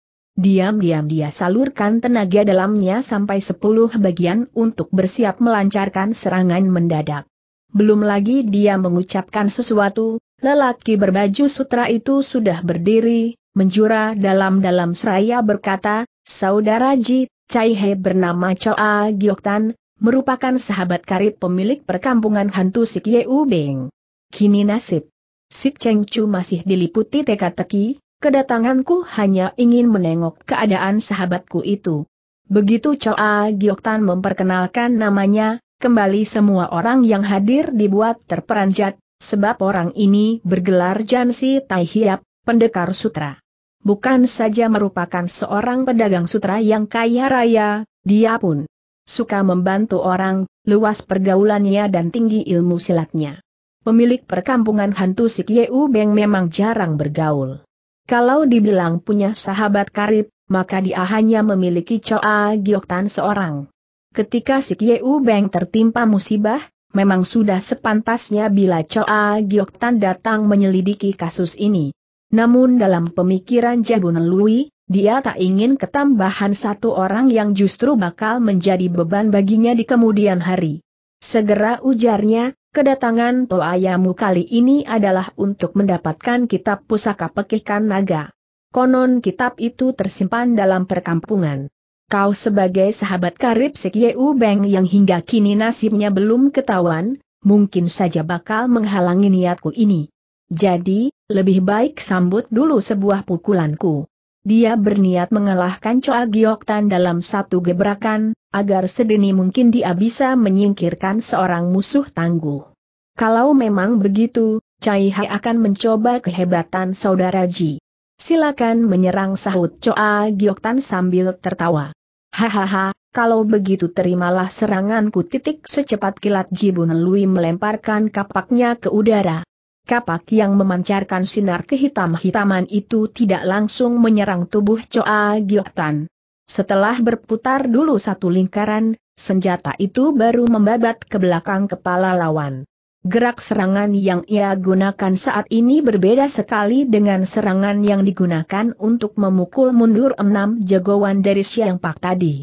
Kekuatan serangan yang terkandung dalam sambaran kapaknya ini mungkin sepuluh kali lebih hebat, Sepuluh kali lebih cepat dan sepuluh kali lebih dahsyat. Para jago berseru tertahan, semua orang tidak mengira kalau Jibun Lui bakal mengerahkan segenap kekuatan yang dimilikinya untuk melancarkan serangan ini. Siapa pun tahu. Kekuatan daya serangan ini mengerikan hati. Ditangkis dengan senjata apa pun tentu akan hancur duluan. Choa Gioktan cuma tersenyum tawar, tiba-tiba dia ia lepaskan jubahnya, Lalu dengan mengobat-abitkan jubah sutranya itu dia gulung datangnya senjata kapak lawan. Kembali para jago bersorak di dalam hati. Choa Gioktan memang luar biasa. Tak ada senjata lain yang lebih cocok daripada jubah sutra itu untuk membendung datangnya bacokan maut itu. Tak terlukiskan rasa kaget Jibun Lui setelah dilihatnya gulungan jubah lawan berhasil mengisap kapak terbangnya. Dalam kagetnya, tangan kiri segera disodokkan ke depan. Wes kapak itu langsung menerobos keluar dari lipatan baju lawan. Hanya saja tenaga sambarannya langsung punah hingga rontok ke tanah. Segera jago margaji ini menyambar kembali senjatanya. Sekalipun berhasil menangkap kembali senjatanya, tidak urung keringat dingin sempat bercucuran membasahi jidat Jibun Lui. Seandainya ia gagal menarik kembali senjatanya tadi, berarti dia sudah keok di tangan Choa Gioktan. Walau sekarang senjatanya berhasil merobek baju lawan, bagaimanapun dia tetap sudah kalah setengah jurus. Tentu saja sebagai orang yang besar gengsinya, Jibun Lui tak ingin melancarkan serangan berikut. Sementara dia masih termangu, terdengar Choa Gioktan sudah berkata sambil tertawa, Saudara Ji, tenaga dalammu sungguh hebat. Nyaris Cai Hai terluka di tanganmu. Untung baru jubahku saja yang robek. Kalau sampai nyawa ikut melayang, itu baru sial namanya. Sambil meletakkan jubahnya di meja, dia kembali ke tempat duduknya dan mulai meneguk arak lagi. Belum sempat Jibun Lui berulah kembali, tiba-tiba terdengar seruan tertahan bergema memecah keheningan. Entah sejak kapan di atas sebuah meja kecil di sudut ruangan telah bertambah dengan seorang lelaki berbaju kasar. Orang itu sedang tertidur nyenyak di situ. Kapan dia masuk? Ternyata tak seorang pun tahu. Dengan mata mendelik Jibun Lui segera bertanya kepada pemilik rumah makan, apakah dia pelayanmu? Kakek pemilik rumah makan mengawasinya sekejap, kemudian sahutnya sambil menggeleng, Hah? Bukan, bukan, aku tidak kenal. Aneh, sejak kapan orang ini masuk kemari seru Ahok keheranan. Loh, Loya, kata Apun agak tergagap, orang itu sudah menenggak tiga poci arak, aku, dia minta kepadaku, tapi aku, aku belum memberinya, dia, dia mencuri arak kita.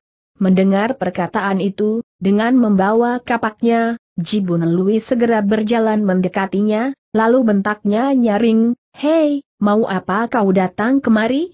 Dia mengulangi pertanyaan itu sampai tiga kali, Suara yang nyaring membuat seluruh ruangan rumah makan bergetar keras. Tapi orang itu tidak menggubris, mendusin pun tidak. Ia masih tidur dengan nyenyaknya. Sambil tertawa dingin Jibun Lui mengayunkan kapaknya. Serangan itu menggunakan tenaga tiga bagian. Bila orang itu tidak menghindar, dapat dipastikan jiwanya bakal melayang.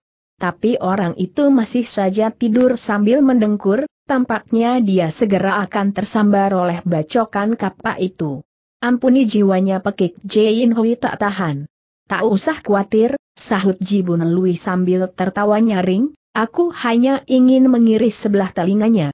Orang itu belum juga berkutik. Mendadak, di saat metu kapak hampir menempel telinganya, orang itu menggeliat perlahan. Anehnya semua piring, mangkuk, cawan dan hidangan yang berada di atas meja telah meluncur ke udara dan langsung menyambar tubuh Jibun Lui. Mimpi pun Jibun Lui tak mengira kalau lawan akan menggunakan care semacam itu untuk menghadapinya. Cawan arak yang melayang tiba duluan langsung mengguyur badannya.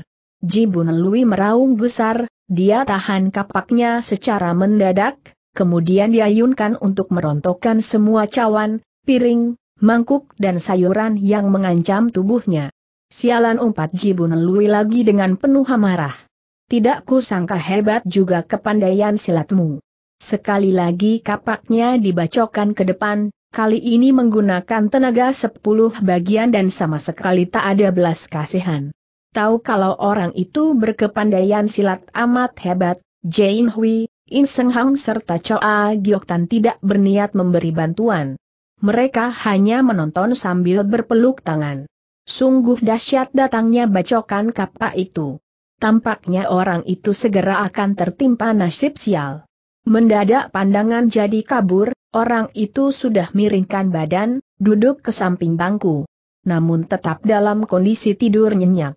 Dengan duduk di ujung bangku, otomatis keseimbangan jadi berat sebelah, maka bacokan kapak Jibun Lui pun persis menghantam bangku itu. Diam-diam Jibun Lui terkejut.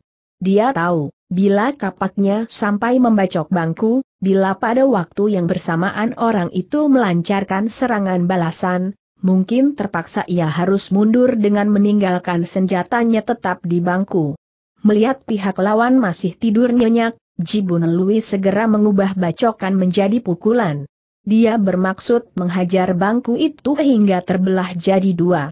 Akan kulihat apakah kau masih bisa tidur terus pikirnya dalam hati. Siapa tahu kembali pandangan Matus rasa kabur, tahu-tahu orang itu sudah berpindah ke bangku yang lain, tetap dalam keadaan tidur sambil mendengkur. Di sekeliling meja itu terdapat empat buah bangku panjang.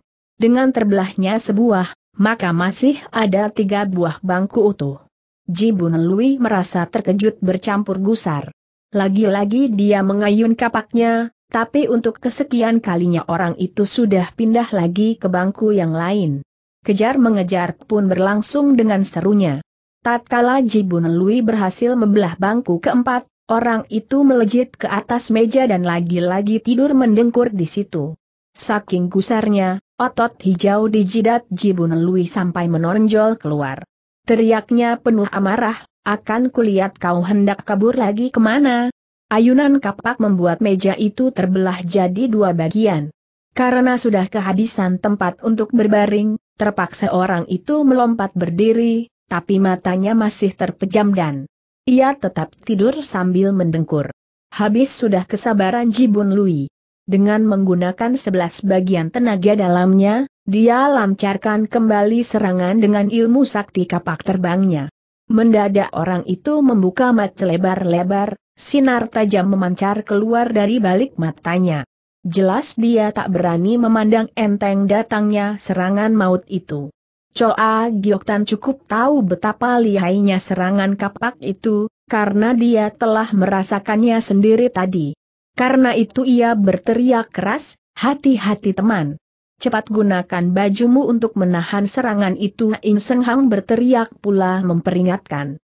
Ketika kapak terbang itu hampir membacok tubuh orang tersebut, mendadak ia menjatuhkan badan telentang ke belakang.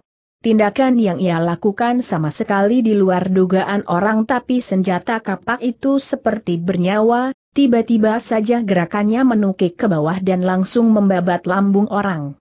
Setelah menjatuhkan diri telentang, kembali orang itu mengeluarkan jurus serangan aneh. Ketika kapak lawan mengancam lambungnya, tiba-tiba dia angkat kedua kakinya lalu menendang kuat-kuat ke arah senjata itu. Padahal waktu itu kapak terbang sedang meluncur datang dengan kecepatan tinggi, bahkan sambil berpusing kencang. Dihadapi dengan tangan mungkin masih ada harapan. Bagaimana mungkin dia bisa menghadapinya dengan tendangan kaki? Ketika menjejakkan kakinya, semua orang baru dapat melihat bahwa dia tidak mengenakan sepatu. Dengan ibu jari kedua kakinya dia sodok pelan punggung kapak yang sedang meluncur tiba. Duuk tahu-tahu kapak terbang itu kehilangan titik irah dan kini malah berbalik meluncur ke tubuh Jibun Lui. Gerakan serangan yang digunakan orang itu memang sangat berbahaya dan menyerempet maut.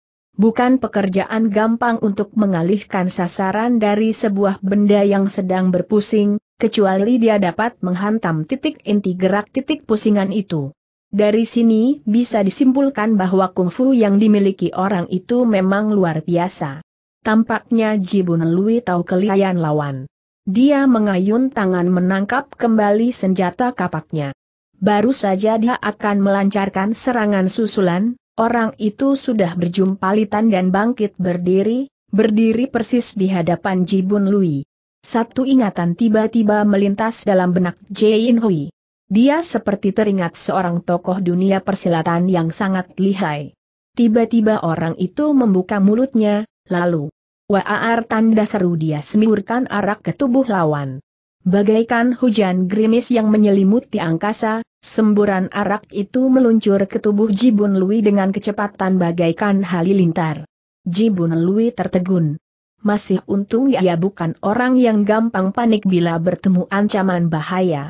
Kapaknya segera diputar sedemikian rupa membentuk satu lapis jaring. Pertahanan yang segera membendung seluruh semburan arak itu. Selesai menyemburkan araknya tadi, orang itu tidak mendesak lebih jauh, sebaliknya Jibun Lui yang sadar kalau pihak lawan bukan manusia sembarangan, segera menyimpan kembali kapaknya. Saat itulah dia baru menjumpai pakaiannya telah bertambah beberapa titik lubang kecil akibat semburan arak tadi. Bisa dibayangkan apa jadinya bila semburan itu menghajar tubuhnya? Wah, seru orang itu kemudian, setelah tumpah, rasanya aku jadi lebih sadar. Kemudian sambil melototi Jibun Lui, lanjutnya, Hei, siapa kau? Kenapa suka membunuh orang sembarangan? Kau mengerti hukum tidak?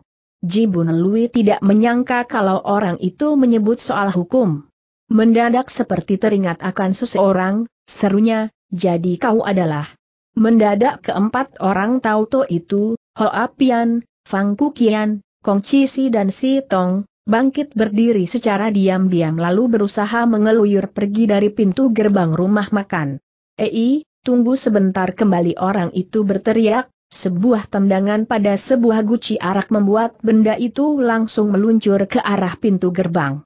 Blaam diiringi suara keras, guci itu menghantam pintu, membuat pintu yang semula sudah terbuka kini menutup kembali. Pucat pias wajah si Tong dan kawan-kawan saking terkejutnya. Tapi Jibun Lui semakin yakin siapa gerangan orang itu. Serunya sambil tertawa terbahak-bahak, hahaha. Rupanya Tua Wibing, si pengejar nyawa, yang telah datang? Tak heran kalau kapak terbangku melempem di ujung kakimu. Sementara itu Jain Hui telah berkata pula sambil tertawa, Konon empat opas dunia persilatan masing-masing memiliki kepandaian andalan yang berbeda, tapi hampir semuanya tangguh dan hebat. Tui Bing Ciampu sangat mahir dalam semburan arak, ilmu meringankan tubuh serta ilmu kaki. Konon kehebatannya tiada duanya di kolong langit. Oh rupanya Ciampu pengejar nyawa, sahut Iseng Hang Girang. Berkat bantuan Ciampu yang berulang kali tahun lalu, Aku Senghang belum sempat mengucapkan terima kasih kepadamu. Ternyata orang ini adalah satu di antara empat opas yang amat termasyhur dalam dunia persilatan, Tui Bing. Empat opas terdiri dari Leng Hiat, si darah dingin, Tui Bing, si pengejar nyawa, Tiat Jiu, si tangan besi, serta Pot Ching, si tanpa perasaan. Dari keempat orang opas ini, usia si darah dingin paling muda. Pengenalan tentang jago yang satu ini telah diceritakan pada bab pertama. Si pengejar nyawa sangat mahir dalam ilmu permainan kaki. Lantaran sepasang kakinya hebat, otomatis ilmu meringankan tubuhnya juga luar biasa. Kegemarannya yang paling utama adalah minum arak, tapi arak justru telah menyelamatkan jiwanya beberapa kali si pengejar nyawa pernah menyelamatkan putri kesayangan dari Pak si benteng utama Ciu Pak Chu yang dijuluki Sian Culi Hiap, pendekar bidadari, Pek Sinji. Cukup dengan satu jurus dia telah merobohkan Ed Kiam Tohmia, pedang sakti pencabut nyawa, si Kok Ching, membunuh Bui Sian Seng serta membantai Bu Kong Chu yang namanya sempat menggetarkan sungai telaga. Ketika berusaha membunuh Bu Kong Chu yang liai, Berkat semburan arak yang memecahkan perhatian lawannya itulah dia berhasil mengatasi kehebatan lawan. Maka tak heran kalau dikatakan bahwa arak telah sering menyelamatkan jiwanya. Dalam mengungkap berbagai kasus pembunuhan, si pengejar nyawa tak pernah gagal. Betapa ganasnya perampok atau pembunuh, akhirnya mereka tetap keok di tangannya. Lantaran itu orang memanggilnya si pengejar nyawa. Tapi karena ilmu kakinya sangat hebat, ada juga yang memanggilnya Sin Tui Tui Bing, kaki sakti pengejar nyawa. Mengenai siapa nama aslinya, tak seorang pun yang tahu jelas. Terdengar si pengejar nyawa menyahut sambil tertawa, ya, aku memang si pengejar nyawa. Apa Ciu Sia Cu baik-baik saja? Dia sangat baik, terima kasih atas perhatian Ciampua, sahut Iseng Hang dengan sangat hormat. Bo Ampu Seng Hang bersama adik Misan Jain Hui menyampaikan salam kepada Ciampu. Ah ah ah, Ciampu apaan sih pengejar nyawa tertawa tergelak. Usiaku hanya sedikit lebih tua darimu. Lebih baik panggil Toako saja. Tapi, tapi mana boleh begitu.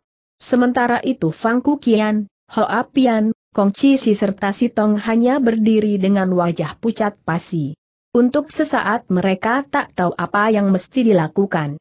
Kepada orang-orang itu si pengejar nyawa segera berkata sambil tertawa, sebetulnya orang yang sedang mengejar kalian bukan aku, tetapi si tangan besi. Aku tak ingin mencampuri urusan orang lain, karena bila aku membantu menangkap kalian, dia malah tak senang hati. Bila aku beritahu kepadanya pun belum tentu dia akan terima kabarku dengan senang. Maka kalian tak usah khawatir, aku tak berakal menangkap kalian. Tapi ingat, cepat atau lambat kalian pasti bakal ditangkap olehnya. Oh ya, bukankah kamu semua mau berkunjung ke perkampungan hantu? Kedatanganku pun untuk mengusut kasus pembunuhan di perkampungan itu. Jadi sebetulnya tak ada sangkut pautnya dengan kalian.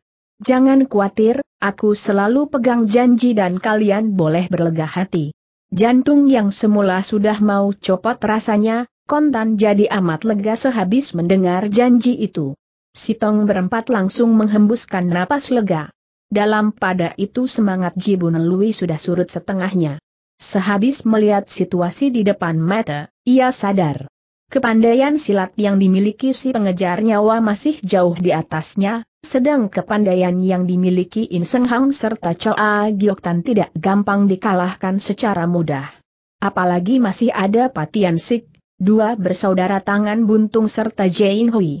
Belum lagi empat paderi dari Xiao Lim ditambah dua tosu dari Butong, jelas semua jago itu bukan jagoan sembarangan. Maka untuk sesaat dia pun tidak banyak bicara. Terdengar si pengejar nyawa menegur In Seng Hang sambil tertawa, Hei, mau apa kalian sepasang sejoli mendatangi perkampungan hantu? Membekuk setan sahut Iseng Hang sambil tertawa. Membekuk setan kening si pengejar nyawa berkerut. Kencang. Jane Hui turut tertawa, selanya, sejak Piaoko diangkat menjadi Lem Cecu, lantaran pengetahuan dan pengalamannya di dunia persilatan masih cetek, maka kami sengaja berkelana untuk menambah pengalaman. Benar, sambungin Senghang pula, suatu hari kami dengar di perkampungan hantu terdapat banyak setan gentayangan. Aku pun berpikir, mana mungkin ada setan gentayangan? Paling orang yang menyaru jadi setan maka aku datang kemari dan ingin membekuknya. Toako, kau mesti memberi petunjuk. Biar cuma setan gandungan, tidak gampang untuk membekuk setan macam begini, kata si pengejar nyawa sambil tertawa. Kemudian sambil berpaling ke arah para jago, lanjutnya dengan lantang, tiga tahun berselang, semua penghuni perkampungan hantu mati dibantai orang. Konon wajah ketua perkampungan hancur membusuk karena keracunan hingga tak dikenali lagi. Katanya dia tewas dibunuh musuh tangguh. Menurut laporan orang-orang yang menggotong jenazahnya, harta kekayaan perkampungan masih utuh, maka para perampok dan pencoleng berbondong-bondong datang. Menyatroni. Sayang satu per satu mereka mati secara mengerikan. Bahkan konon Soat Sesemoke ikut jadi korban. Ketika mendengar sampai di sini, tujuh jakcan penuntut balas merasa badannya gemetar keras, sebab bagaimanapun juga Soat Sesemoke adalah bekas saudara seperguruan mereka. Tampak si pengejar nyawa memandang sekejap sekeliling ruangan, kemudian lanjutnya, sejak peristiwa itu, para pencari harta berubah jadi orang yang hilang kabar beritanya. Semakin banyak yang datang semakin banyak pula yang hilang, sampai akhirnya Sipkot Tui Hun Jiu Kok Cikeng Kok Sian Seng datang kemari untuk mengusut hilangnya Soat Sesamoke. Bersama si tongkat besi Ang Sian Seng empat paderi dari Xiao Lim Si dan tiga tosu dari Butong Pei, mereka datang menyatroni perkampungan hantu. Sayang dari sekian banyak jago yang masuk ke dalam perkampungan, hanya senyuman pengejar Sukma Yeubun Siu seorang yang berhasil meloloskan diri dalam keadaan terluka parah. Sepuluh jari tangannya dipapas orang, otaknya juga jadi sinting. Tiap hari kerjanya hanya berteriak-teriak, tapi semua ucapannya hanya berkisar soal setan dan hantu. Ketika berbicara sampai di sini, semua tokoh yang merasa ada sangkut pautnya dengan peristiwa ini, seperti tujuh jagoan penuntut balas, Patian Sik, empat paderi dari Xiao Limsi, dua tosu dari Butong, Choa Gioktan sebagai sahabat karib Sik Yeu Beng dan In Seng Hang serta Jain Hui yang datang karena rasa ingin tahunya, sama-sama memusatkan perhatiannya buat mendengarkan penjelasan lebih jauh. Badai salju titik masih turun dengan derasnya di luar rumah makan, angin kencang yang menderu-deru seakan mendemonstrasikan kekuatan, berusaha mencegah si pengejar nyawa bertutur lebih jauh. Sesudah berhenti sejenak untuk tarik napas, Kembali si pengejar nyawa berkata lebih jauh, dalam gilanya, Yeu Bun Siu Sian Seng sering mengoceh tentang sebuah kitab pusaka ilmu silat yang disebut sebagai kitab pusaka pekihkan naga. Konon di dalam kitab pusaka itu tercakup ilmu tenaga dalam, ilmu pedang, ilmu jari, ilmu golok, ilmu meringankan tubuh, ilmu MG dan ilmu seruling. Tujuh macam kepandaian hebat. Menyinggung soal kitab pusaka itu, Hoa Pian, Fang Kukian, Kong Chi Si dan Sitong segera memusatkan perhatian untuk mendengarkan. Bahkan Ji Bun Lui serta dua bersaudara penggaet dan pencabut nyawa pun turut pasang telinga baik-baik. Kitab Pusaka Pekihkan Naga merupakan hasil karya seorang tokoh sakti dunia persilatan pada 500 tahun lalu. Siapa yang bisa memperoleh kitab itu, dialah yang akan menjadi jagoan tanpa tandingan. Aku dengar sudah hampir 300 tahun lamanya kitab pusaka itu tak pernah muncul lagi dalam dunia persilatan. Entah bagaimana bisa muncul di perkampungan hantu. Ketika berita ini tersiar luas, maka gemparlah seluruh sungai telaga. Yang percaya dengan kabar ini segera berbondong-bondong datang kemari untuk mencari pusaka itu. Kasus pembunuhan banyak terjadi di sepanjang perjalanan ke sini. Rupanya banyak orang takut kedahuluan sehingga berusaha membungkam saingannya secepat mungkin. Sayang semua orang yang masuk ke dalam perkampungan hantu ternyata tak satu pun yang muncul kembali. Konon sudah hampir 5-600 orang yang hilang di perkampungan itu. Tokoh kenamaan pun sudah ada 300-an orang, tapi semuanya bagaikan ditelan bumi. Gara-gara kasus inilah aku, si pengejar nyawa mendapat perintah untuk melakukan penyelidikan. Semisal penghuni perkampungan hantu benar-benar adalah sekawanan setan iblis, kawanan setan itu sudah keterlaluan. Sudah waktunya bagi kita untuk mengatasi semua kejadian berdarah ini.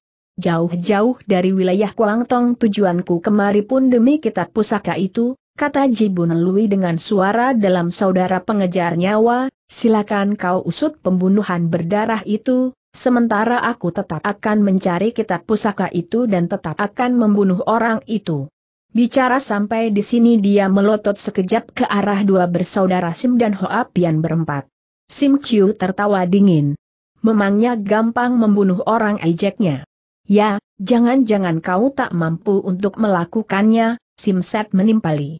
Aku lihat orang ini cuma pandai omong besar, kembali Sim Chiu berkata. Padahal belum tentu kungfunya hebat lanjut Sim Set. Sebenarnya maksud kedatangan Fang Kukian berempat ke wilayah Siang Kiang ini tak lain untuk mendapatkan kitab pusaka pekikan naga. Pikir mereka, asal bisa melatih sejenis kungfu yang hebat, maka mereka tak usah khawatir lagi dengan empat opas. Dan kini, setelah melihat tujuan kedatangan Jibun Lui maupun dua bersaudara Sim juga demi kitab pusaka itu, dalam hati mereka sangat berharap agar orang-orang itu bertarung duluan, dengan begitu mereka baru mendapat kesempatan untuk memperoleh kitab itu.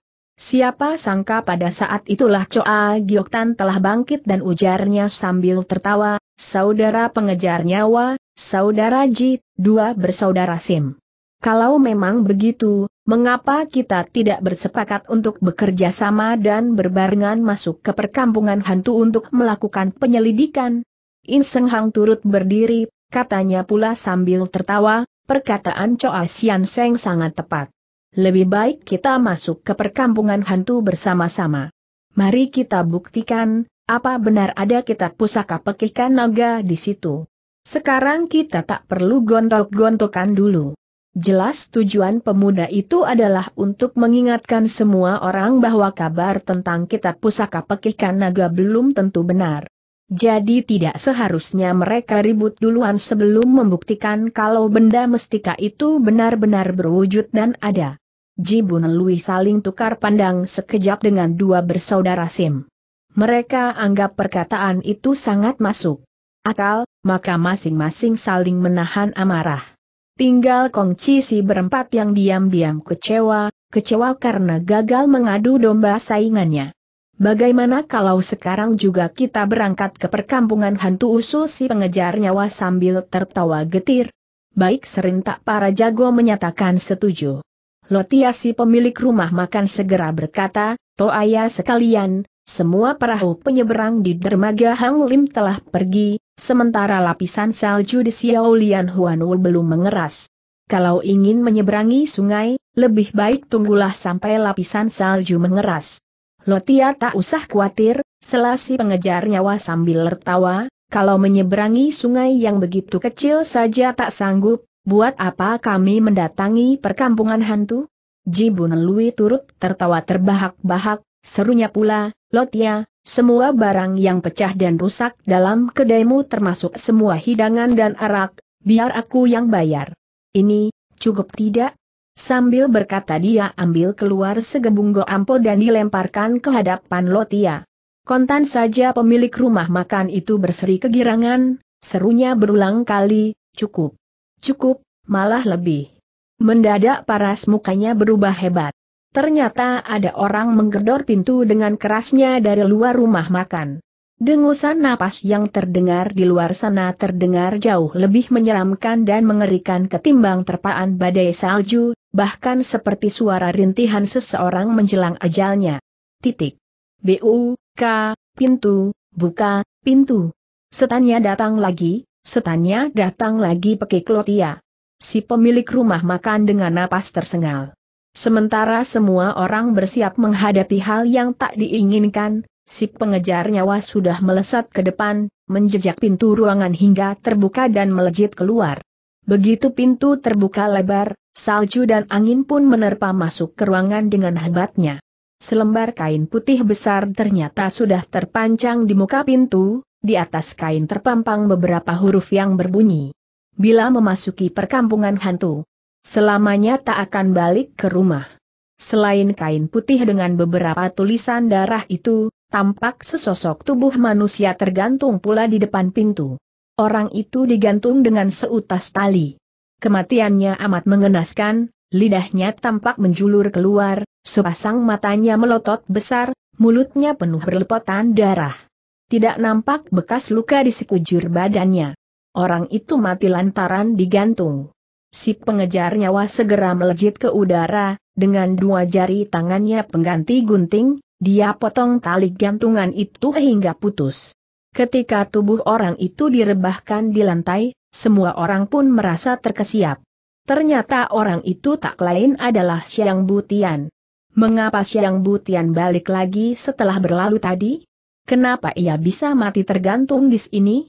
Kenapa kehadiran Siang Butian di depan pintu sama sekali tak dirasakan para jago yang ada di dalam ruangan? Andai kata tubuh Siang Butian tidak membentur pintu karena hembusan badai salju, mungkin hingga sekarang pun tak ada yang sadar akan kehadirannya. Lalu siapa pula yang berteriak buka pintu dengan suaranya yang aneh? Lidah Siang Butian menjulur keluar panjang sekali, matanya memancarkan rasa ketakutan yang luar biasa seakan dia ingin memberitahu kepada semua orang tentang sesuatu. Tapi kini dia sudah mati. Tentu saja orang hidup tak akan bisa menangkap suara perkataan orang mati. Siapa pula yang menulis surat peringatan di kain putih itu? Siapa yang mengikat kain putih itu di depan pintu? Padahal dalam ruangan rumah makan itu hadir begitu banyak jago tangguh, mengapa tak seorang pun di antara mereka yang merasakan atau mengetahui hal ini? Perbuatan manusiakah? Atau jangan-jangan memang hasil karya setan? Ada setan, ada setan pekik apun dengan ada ketakutan setengah mati. Selapis bayangan hitam serasa menyelimuti raut muka setiap orang. Sambil tertawa kaku Choa Gioktan berkata kembali, jangan bicara ngawur. Mana ada setan di dunia ini? Biarpun benar-benar ada setan, aku pun tetap akan ke situ mendadak Patian Sik berseru dengan wajah serius. Belum selesai bicara ia sudah menerjang keluar dari ruangan dengan kecepatan bagaikan petir. Dalam sekejap mata, tinggal sebuah titik hitam yang nampak di kejauhan sana. Jangan gegabah pekik si pengejar nyawa dengan kening berkerut. Ciam puat pengejar nyawa seru Ing Seng Hang sambil berbangkit, aha, bukan. Toako, jangan biarkan Pasian Seng pergi seorang diri. Ayo kita segera menyusulnya beramai-ramai. Bagus, tepat seperti yang kuharapkan sambung Jibun Lui Lantang. Dia khawatir kita pusaka pekikan naga jatuh ke tangan orang lain. Siapa tahu tiba-tiba. Wes, Wes dua kali desingan angin tajam berkelebat lewat dari sisi tubuhnya, dua bersaudara Sim sudah menyusul keluar duluan. Tentu saja Jibun Lui tidak tinggal diam. Segera ada menyusul dari belakang. Maka semua jago yang lain pun ikut membuntuti di belakangnya. Melihat itu si pengejar nyawa hanya bisa menghela napas panjang. Kawanan jago silat itu berjumlah 25 orang. Mereka bergerak cepat menuju ke perkampungan hantu dengan menelusuri permukaan salju yang putih. Patian Sik bergerak memimpin paling depan, dengan ilmu meringankan tubuhnya yang tangguh dia hanya nampak seperti titik hitam di kejauhan sana. Dua bersaudara Sim berangkat selangkah duluan, namun Jibun Lui yang mengejar dengan mengerahkan tenaga dalamnya hanya ketinggalan lima langkah di belakang kedua orang itu. In Seng Hang dan Jain Hui menyusul di belakang Jabun Lui, sedang Choa Gioktan mengintil di belakang In Seng Hang. Empat padri dari Xiao Limbe dan dua orang Tosu dari Bu. Tong Pei menyusul di belakang Choa Gioktan. Tujuh jagoan penuntut balas berada di belakang empat padri, sementara si Tong Ho Apian, Fang Kukian dan Kong Chi si berada di belakang sendiri dikuntit ketat oleh si pengejar nyawa. Biarpun saat itu badai salju sedang turun dengan hebatnya, kekuatan alam ini sama sekali tidak mempengaruhi kawanan jago itu untuk bergerak cepat. Di tengah terpaan bunga salju yang deras, mendadak si pengejar nyawa tertawa terbahak-bahak. Dengan satu kecepatan yang luar biasa ia menerjang terpaan angin utara dan melampaui Hoap Pian berempat, kemudian dia melewati juga tujuh jagoan penuntut balas, empat padri dari Xiao Lim dan dua tosu dari Butong. Ketika Choa Gioktan melihat dirinya bakal tersusul, segera dia tarik napas dan lari dengan terlebih kencang lagi. Dalam sekejap mati mereka berdua sudah berhasil melewati In Seng Hang dan Jain Hui. dasar anak muda yang berdarah panas, melihat diri mereka dilampaui orang, lekas mereka menghimpun tenaga dalam dan melesat lebih cepat.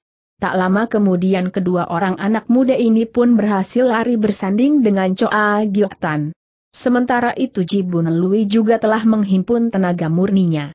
Walaupun ilmu meringankan tubuhnya tidak seberapa hebat, namun karena tenaga dalamnya sempurna maka makin lama berlari semakin menguntungkan bagi posisinya. Tiba-tiba ia melepas jubah panjangnya dan diikatkan di pinggang, kemudian sambil berteriak nyaring ia melesat lebih cepat ke depan. Akhirnya dia berhasil menyusul Sim bersaudara.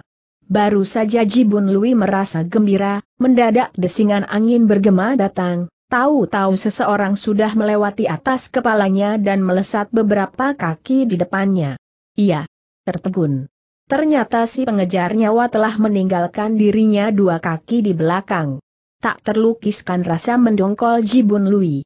Baru saja akan menyusul, kembali terdengar suara langkah kaki bergema dari belakang, ternyata In Seng Hang sudah menyusul dari sisi kiri dan Jain Hui menyusul dari sisi kanan.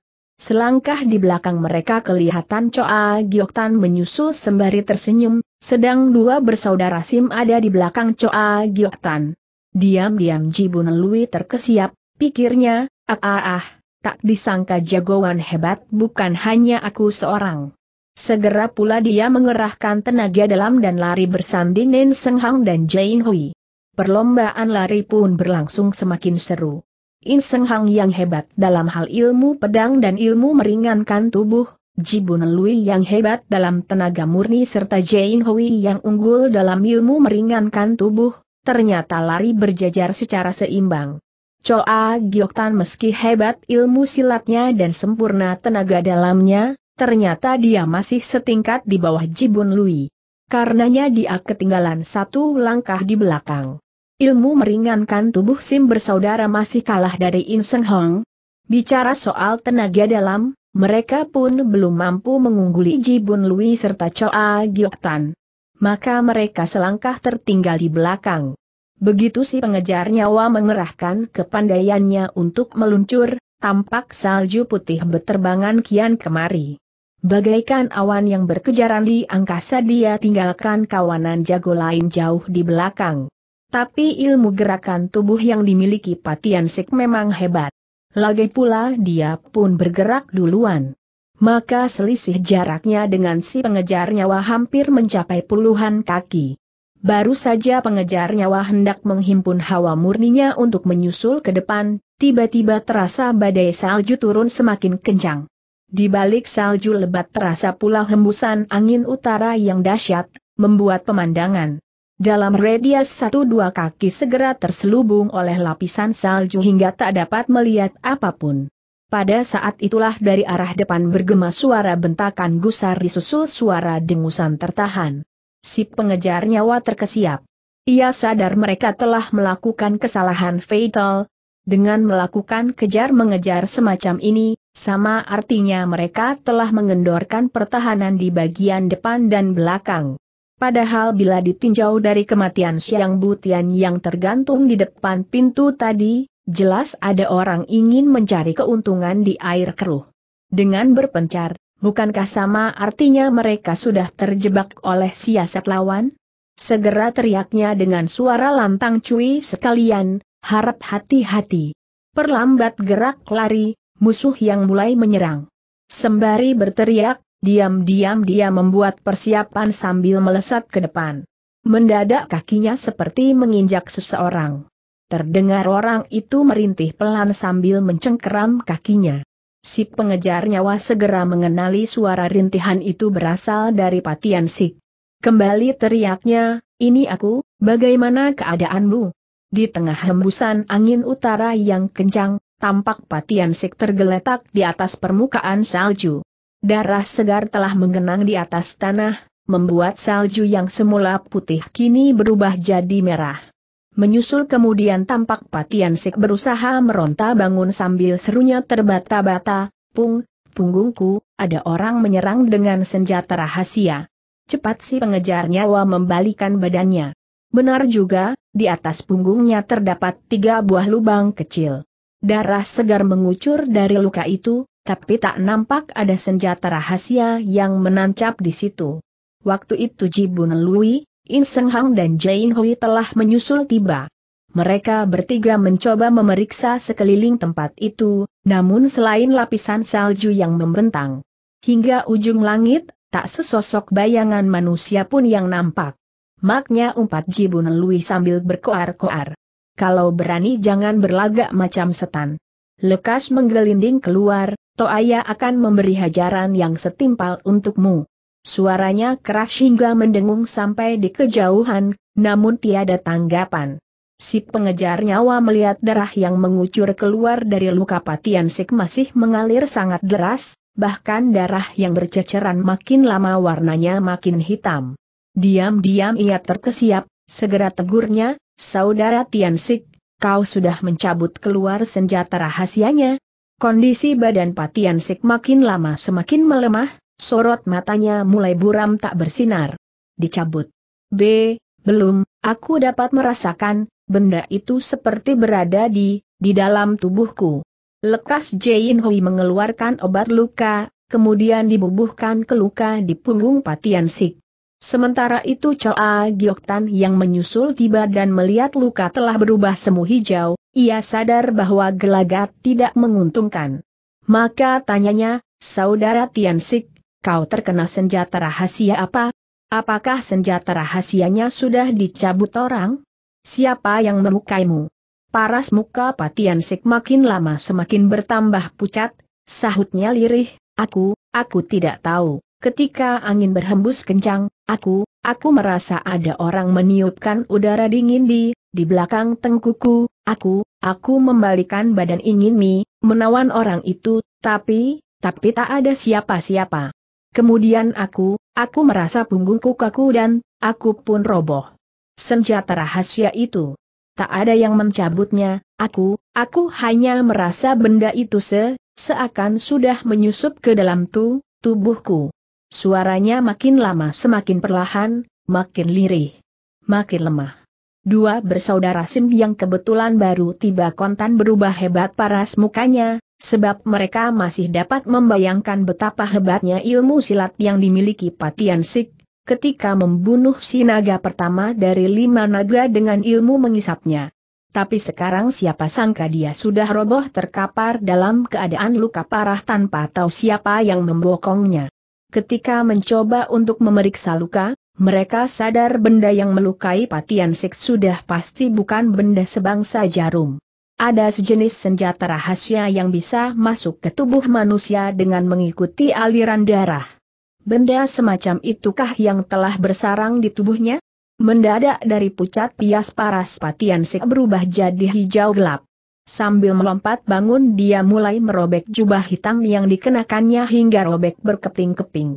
Hancuran kain beterbangan diterpa badai salju.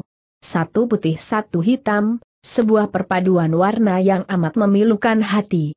Dengan suara parau menyeramkan Patian Sik berteriak keras, Serunya sambil menuding kawanan jago itu, setan. Setan. Kalian akan pergi bersamaku, hehehe, hehe, setan. Setan rambutnya sudah awut-awutan, terurai ke belakang punggung, matanya merah berapi, darah segar belepotan di ujung mulutnya. Mimik mukanya saat ini memang sangat menyeramkan, tak ubahnya seperti setan iblis. Untuk sesaat tak seorang pun berani maju mendekat. Ketika selesai mengucapkan kata terakhir, mendadak Patian Sik menjerit melengking, darah kental bercucuran dari ujung mulutnya. Bukan darah berwarna merah, tapi darah kental berwarna hitam pekat. Ketika si pengejar nyawa maju mendekat sambil memeriksa dengus napasnya, segera diketahui Patian Sik sudah putus nyawa. Tewas dalam keadaan yang sangat mengenaskan. Sementara itu para jago sudah berkumpul di sana menyaksikan kematian Patian Sik yang mengerikan itu. Diam-diam semua orang merasa bergidik. Mereka tak tahu kapan giliran mereka akan tiba. Malam semakin kelam, kegelapan sudah mulai mencekam seluruh jagat. Pengejar nyawa mengawasi mayat Patian Sik sambil menundukkan kepala dan termenung. Choa Gioktan tidak banyak bicara, sementara Jane Hui yang ketakutan sedang dihibur oleh Enseng Hong, Pada saat itulah tiba-tiba terdengar lagi jeritan ngeri yang memilukan berkumandang datang dari arah belakang sana. Aduh celaka pekik si pengejar nyawa dengan wajah berubah. Keempat padri dari Xiao Limbe dan dua tosu dari Butong Pei segera melesat ke udara dan meluncur ke arah sumber jeritan itu, sedang si pengejar nyawa segera melintas di atas kepala para jago bagai anak panah terlepas dari busurnya. Sambil berlari ia berteriak, Saudara Ji, Saudara Choa, Inlote, kita tak boleh berpencar. Segera berangkat dalam satu rombongan. In Seng Hang beramai tentu saja tak berani berjalan kelewat cepat lagi. Setiap orang selisih jarak tak sampai tiga depa, dengan In Seng Hang berada paling depan dan Choa Giok Tan paling belakang. Lebih 20 kaki perjalanan ditempuh, satu pemandangan mengerikan kembali terbentang di depan mata. Gumpalan darah bercampur salju berceceran di mana-mana. Tampak tujuh jagoan penuntut balas dengan senjata terhunus membuat satu lingkaran mengelilingi si pengejar nyawa. Waktu itu si pengejar nyawa sedang berjongkok memeriksa tubuh seseorang yang terkapar di tanah, gumpalan darah ternyata berasal dari tubuh orang itu. Orang yang terkapar di atas permukaan salju itu masih menggenggam senjata ruyung tiga ruasnya dia tak lain adalah Sitong. Tapi apa yang menyebabkan kematiannya? Dan ke mana perginya Kong Chi Si, Fang Kukian serta Ho Apian? Terdengar salah satu di antara tujuh jagoan penuntut balas yang bersenjata gurdi besi berkata, kepandaian silat kami cetek, tak mampu menyusul kalian. Sementara keempat orang Tauto ini jauh ketinggalan di belakang kami, kemudian kami pun tiba-tiba mendengar jeritan ngeri ketika balik kemari. Ketika tiba di sini, kami telah menyaksikan pemandangan seperti ini, sambung lelaki yang bersenjatakan tombak emas. Sementara ketiga orang tauto yang lain tak nampak batang hidungnya, kemudian kalian pun tiba di sini. Seharusnya kendati ketiga orang tauto itu takut setan, mustahil mereka akan meninggalkan jenazah rekannya begitu saja. Apalagi kami balik ke sini dengan kecepatan tinggi. Seharusnya kami masih sempat melihat mereka semua, sambung pula rekan yang lain. Ya, tapi mereka seakan lenyap begitu saja. Menguap ke udara lelaki bersenjata palu berantai menambahkan. Badai salju masih meraung-raung menerpa permukaan tanah. Di tengah kegelapan malam, suara itu seakan rintihan dan jeritan beribu sosok sukma gentayangan yang berasal dari neraka, membuat paras muka semua orang jadi pucat kehijauan. Mereka bergidik dengan suasana itu. Terdengar lelaki yang bersenjata Boan Keanpik berkata dengan suara gemetar, benar, ketika kami balik kemari, lamat-lamat seperti mendengar ketiga, ketiga orang saudara itu menjerit ngeri, suara mereka seakan datang dari angkasa. Apa seru pengejar nyawa sambil berkerut kening? Maknya, kau tidak usah menakut-nakuti orang umpat Ji. Bun Lui pula dengan gusar. Sambil membusungkan dada, lelaki yang bersenjata Boan Keanpit berkata, Locu adalah orang yang tidak takut langit tidak takut bumi. Kenapa mesti menakut-nakutimu? Aku memang mendengar jeratan itu seolah berasal dari tengah langit. Mulut ini mulutku sendiri, kau toh boleh tidak percaya. Pengejar nyawa mendongakkan kepala memandang ke angkasa. Kegelapan malam telah mencekam seluruh jagat.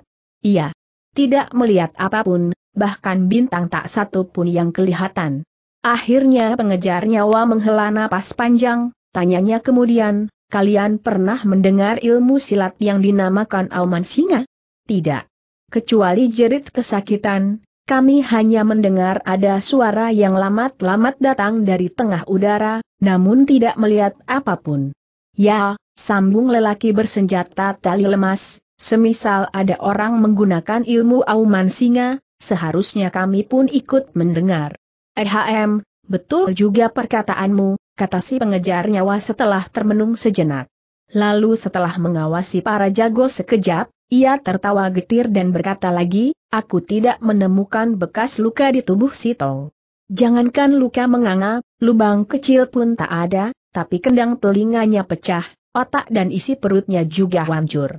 Itulah sebabnya dia memuntahkan darah segar dalam jumlah banyak. Aru rasa penyebab kematian Sitong akibat tergetar oleh ilmu sebangsa Auman Singa.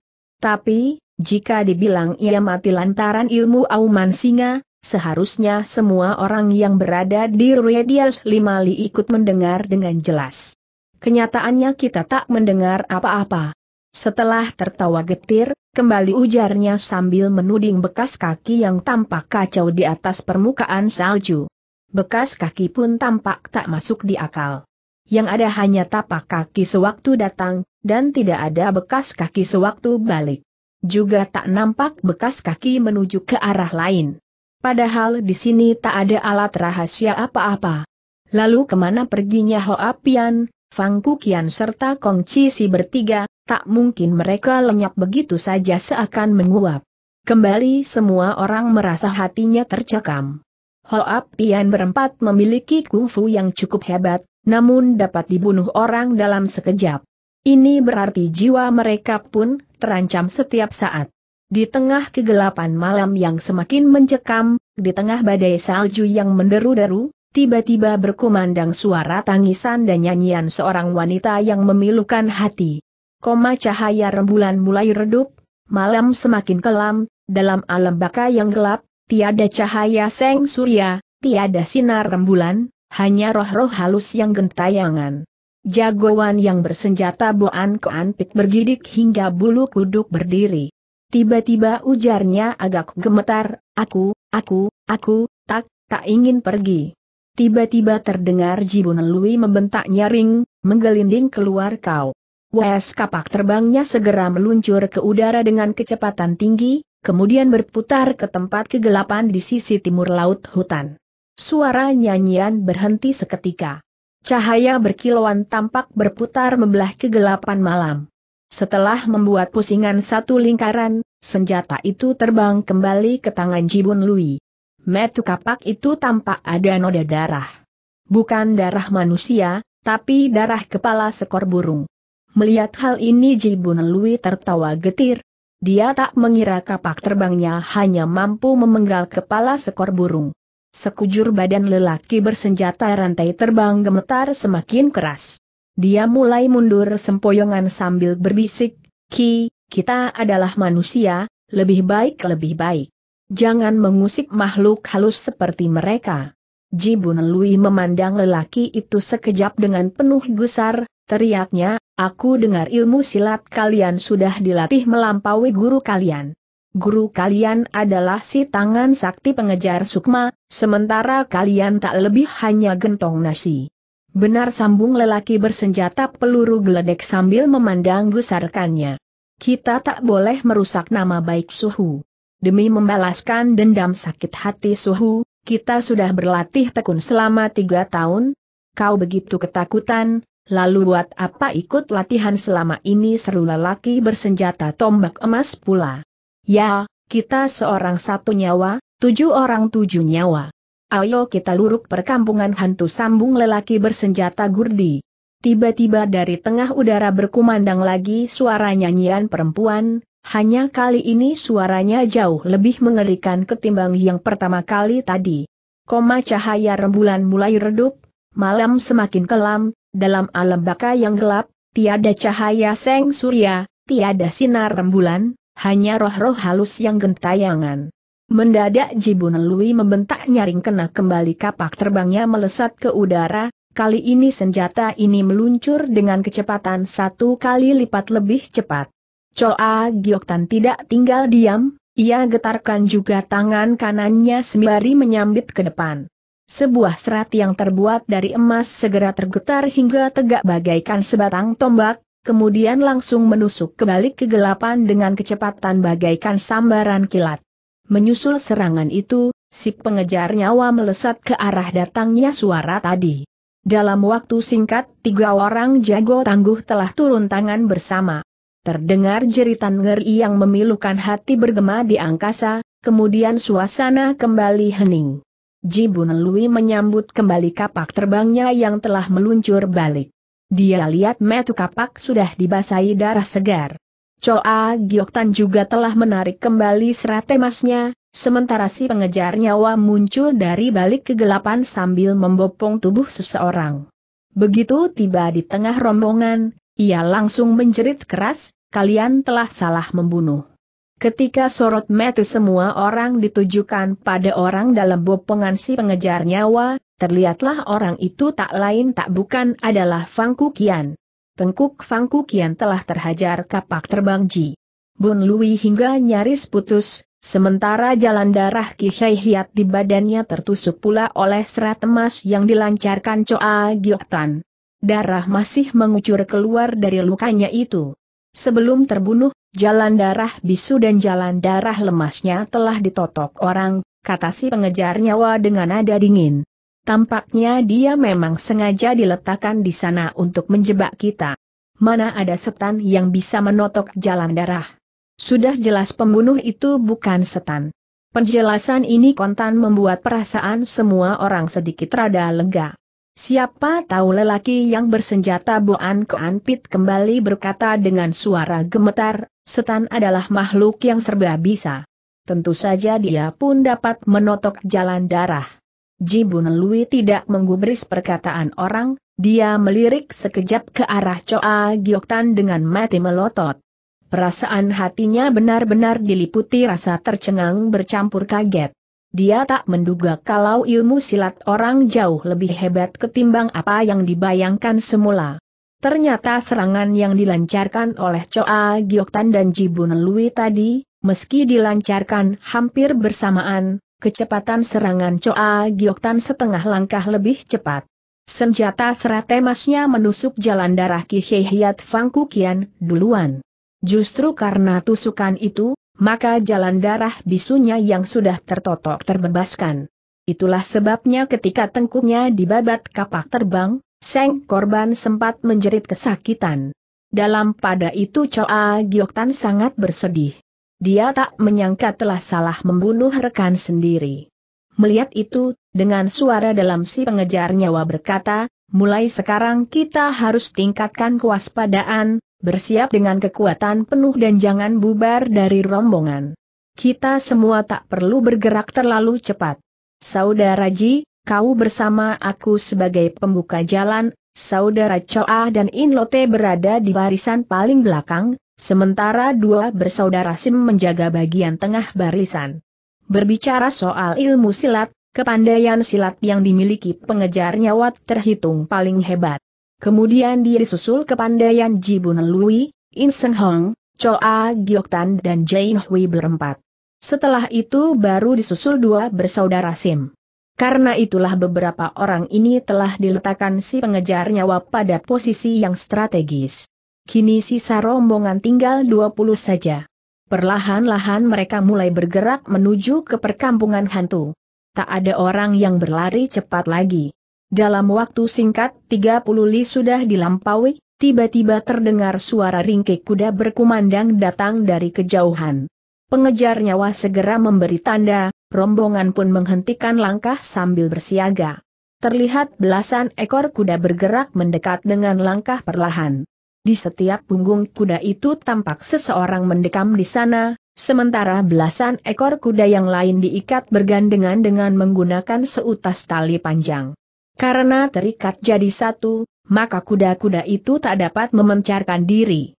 Melihat keadaan sangat mencurigakan, dengan lantang si pengejar nyawa segera menegur, siapa yang datang? Harap laporkan namamu daripada terjadi kesalahpahaman. Teguran itu diulangi sampai tiga kali, namun orang itu belum juga bergerak. Bahkan rombongan kuda itu masih bergerak maju perlahan-lahan si pengejar nyawa segera memberi tanda. Bersama Jibun Lui mereka melesat mendekati orang itu dengan kecepatan tinggi. Dengan satu cengkeraman maut, Jibun Lui menyambar orang yang mendekam di punggung kuda pertama, kemudian membetotnya ke bawah. Pada waktu yang sama, si pengejar nyawa menyambar pula punggung orang kedua yang berada di kuda nomor dua. Hah, mayat mendadak kedua orang jago itu menjerit berbareng. Berhubung kuda yang paling depan berhenti, seketika rombongan kuda yang berada di belakangnya ikut berhenti pula. Tampak orang-orang yang berada di atas punggung kuda-kuda itu mendekam dengan wajah pucat pias. Ternyata semuanya sudah menjadi mayat. Kematian orang-orang ini sangat aneh. Sepasang mati mereka melotot besar, tubuh lemas bagaikan kapas seakan tenaga dalam mereka telah punah sama sekali. Bahkan darah di tubuh mereka pun seakan telah diisap habis jadi mayat yang kering. Setan pengisap darah pekik lelaki bersenjata tali lemas dengan ada kaget. Semua orang cukup mengenal siapakah mayat-mayat itu, sebab mereka tidak lain adalah rombongan yang datang bersama Siang Butian, yaitu para begundal dan tukang pukul pemuda bejat itu. Tak disangka kini mereka semua telah menjadi mayat kering. Pada saat itulah suara nyanyian yang memilukan hati kembali bergema dari balik kegelapan. Baru saja Jibun Lui berkerut kening dan siap melancarkan serangan, dengan wajah serius pengejar nyawa segera berbisik, jangan turun tangan secara gegabah. Pancing keluar dulu orang itu, kemudian baru digebuk bersama. Suara aneh itu kembali lenyap tak berbekas setelah bernyanyi dan tertawa aneh berulang kali. Dengan serius si pengejar nyawa pasang telinga dan mendengarkan beberapa saat. Tiba-tiba bisiknya kepada Jibun Lui, Saudara Ji, boleh aku pinjam kapakmu sebentar? Ji Bunelui tak paham apa yang hendak dia lakukan. Tapi ia percaya si pengejar nyawa pasti tak bermaksud jahat. Maka tanpa ragu dia sodorkan kapaknya. Seperti sedang memikirkan sesuatu, tiba-tiba si pengejar nyawa membalikan metu kapak hingga menyorot ke atas permukaan salju. Pantulan sinar yang menusuk pandangan segera memancar dari metu kapak itu. Dalam detik yang amat singkat inilah dari atas metu kapak secara lamat-lamat terlihat. Ada sesosok bayangan hitam berkelebat lewat kemudian lenyap tak berbekas. Dalam hati kecilnya, si pengejar nyawa segera mengerti. Titik IPA yang telah terjadi. Mendadak ia bertanya kepada In Seng Bong, In Lote, sebelum aku membantu Peksiacu menghadapi Bu Tekong Cu di gurun pasir tempo hari, jagoan di pihak kita sudah mati duluan beberapa orang dengan cara yang misterius. Konon mereka tewas karena disergap dan dibokong dalam keadaan yang luar biasa. Waktu itu kita tidak melihat jejak musuh di padang pasir yang luas, tapi setiap kali ada anggota rombongan yang tertinggal, mereka selalu tewas dibunuh secara kejam. Tahukah kau benda apa yang telah digunakan musuh untuk merobohkan anggota rombongan waktu itu? Mula-mula In Seng Hang agak tertegun, tapi setelah berpikir sebentar ia segera sadar apa yang dimaksud. Serunya, ah ah ah, aku sudah paham. Saudara Pek I pernah menceritakan pengalamannya kepadaku. Asal sudah paham ya sudah, tukas si pengejar nyawa sambil tersenyum. Apakah perlu bantuan kutanya Jibun Lui? Ya, apa perlu bantuan kami sambung Choa Gioktan pula. Kehebatan saudara pengejar nyawa dalam menaklukkan Butek Kong Chu sudah tersohor di seantero jagat. Bila membutuhkan tenaga kami, Cai He siap membantu dengan sepenuh tenaga. Terima kasih banyak, si pengejar nyawa tersenyum. Sekarang aku, saudara Choa dan Inlote bekerja sama melemparkan tubuh saudara Ji ke udara. Kemudian dari situ saudara Ji melemparkan kapak terbangnya ke posisi musuh. Coba kita lihat apakah dengan cara begini kita dapat melukainya. Baik, tak jadi masalah, Jibun Lui menanggapi sambil tertawa keras. Sekarang dia terbang rendah, ayo naik bisik si pengejar nyawa tiba-tiba dengan suara lirih. Choa Gioktan segera menggetarkan pecut serat emasnya. Senjata yang panjangnya mencapai dua puluhan depa itu segera melilit pinggang Den Senghang dan Jibun Lui. Empat padri dari Xiaolin, dua tosu dari Butong, tujuh jagoan penuntut balas serta dua bersaudara Sim Kontan melengak melihat kejadian ini. Semula mereka mengira Choa Gioktan hendak membokong kedua orang jago itu. Belum sempat mereka berpikir jauh, Choa Gioktan telah mengayunkan pecut serat emasnya ke udara. Tubuh Jibun Lui dan In Seng Hang segera terlempar ke udara setinggi 4-5 kaki lebih. Sewaktu badannya dilemparkan ke tengah udara, baik In Seng Hang maupun Jibun Lui sama-sama tidak mengerahkan tenaga. Tapi begitu badan mereka mulai meluncur ke bawah, In Seng Hang segera menyambar sepasang kaki Jibun Lui, lalu sambil menarik napas dan mengerahkan ilmu meringankan tubuhnya yang hebat, Ia melambung lagi dua kaki ke udara. Dengan menggunakan sisa tenaga yang dimilikinya, dia dorong sepasang tangannya kuat-kuat, melemparkan tubuh Jibun Lui hingga melambung berapa kaki lagi ke atas. Selama ini Jibun Lui sama sekali tidak mengerahkan tenaga. Menunggu sampai tenaga dorongan In Seng Hang melemah, dia baru menghimpun tenaga dalamnya kemudian melejit satu kaki lebih tinggi. Sambil membentak keras, kapak terbangnya langsung diayunkan ke depan. Lemparan kapak terbangnya kali ini dilakukan Jibun Lui dengan sekuat tenaga. Wes diiringi desingan angin tajam, kapak itu langsung membacok di atas tubuh suatu makhluk yang sedang terbang di angkasa.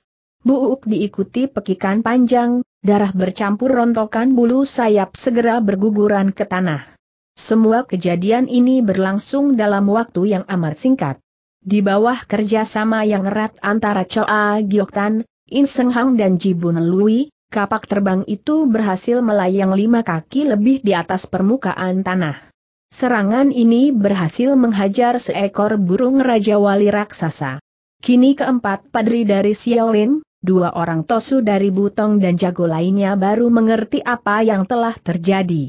Tak kuasa lagi mereka berseru tertahan.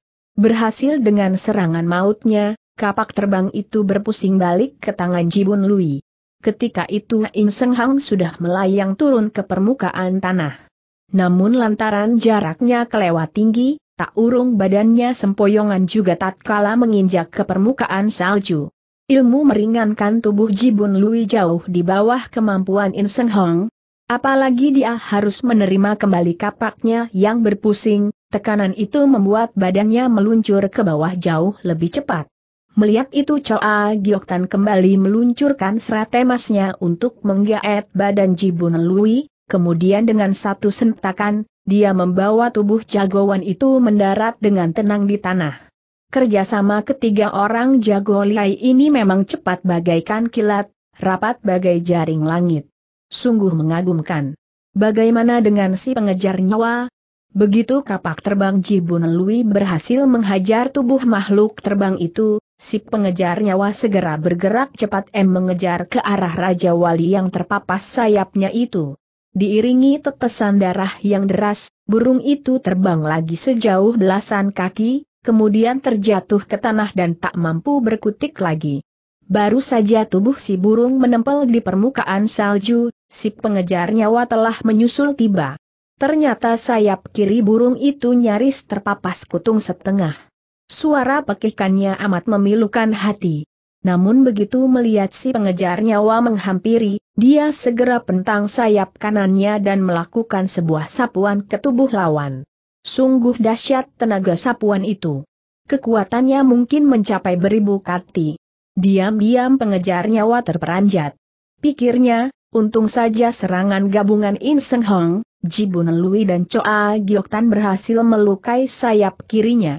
Kalau tidak, mungkin sulit bagiku untuk menghampiri makhluk ini. Sambil berpikir, ia segera melancarkan serangan dahsyat. Tapi burung itu berhasil menghindari datangnya ancaman. Hanya sayang, lantaran sayapnya terluka parah, dia tak sanggup terbang kembali ke angkasa. Pengejar nyawa tak berani bertindak gegabah, sebab dia tahu sehebat-hebatnya burung Raja Wali itu, lebih hebat lagi orang yang berada di punggungnya. Dia harus mewaspadai serangan mematikan dari orang itu. Maka dengan sangat berhati-hati dia menghindarkan diri dari sapuan sayap itu, begitu mendekat, sebuah tendangan kilat dilontarkan ke punggung orang yang berada di punggung Raja Wali itu. Duuk ternyata punggung orang itu terhajar telak oleh tendangan maut itu. Pengejar nyawa tidak menyangka kalau serangannya berhasil menghajar lawan dengan begitu mudah. Sementara ia masih tertegun, kembali burung Raja Wali itu menyerang dengan menggunakan sayapnya. Sungguh dahsyat sapuan sayap itu, tapi si pengejar nyawa tidak menghindar maupun berkelit. Dengan kaki kiri terpantek di tanah, kaki kanannya langsung menendang sayap burung itu. Begitu sayap terhajar tendangan, burung Raja Wali itu tergetar keras dan mencelat ke belakang. Sementara itu, tubuh si pengejar nyawa terpantek di tanah tanpa bergeser sedikit pun. Pada saat itulah dua bersaudara Sim telah menyusul datang. Secepat kilat mereka melancarkan sodokan maut ke mata burung Raja Wali itu. Diiringi pekikan ngeri, matilah burung Raja Wali itu. Hah, rupanya dia mendadak Jain Hui menjerit. Rupanya orang yang termakan tendangan hingga terjatuh dari punggung Raja Wali itu, kini sudah rebah telentang di atas permukaan salju. Dan orang itu tak lain adalah Kong Cisi. Pengejar nyawa segera maju mendekat. Ia jumpai tulang rusuk Kong Cisi sudah hancur remuk karena termakan tendangannya tadi. Kini orang itu sudah tewas.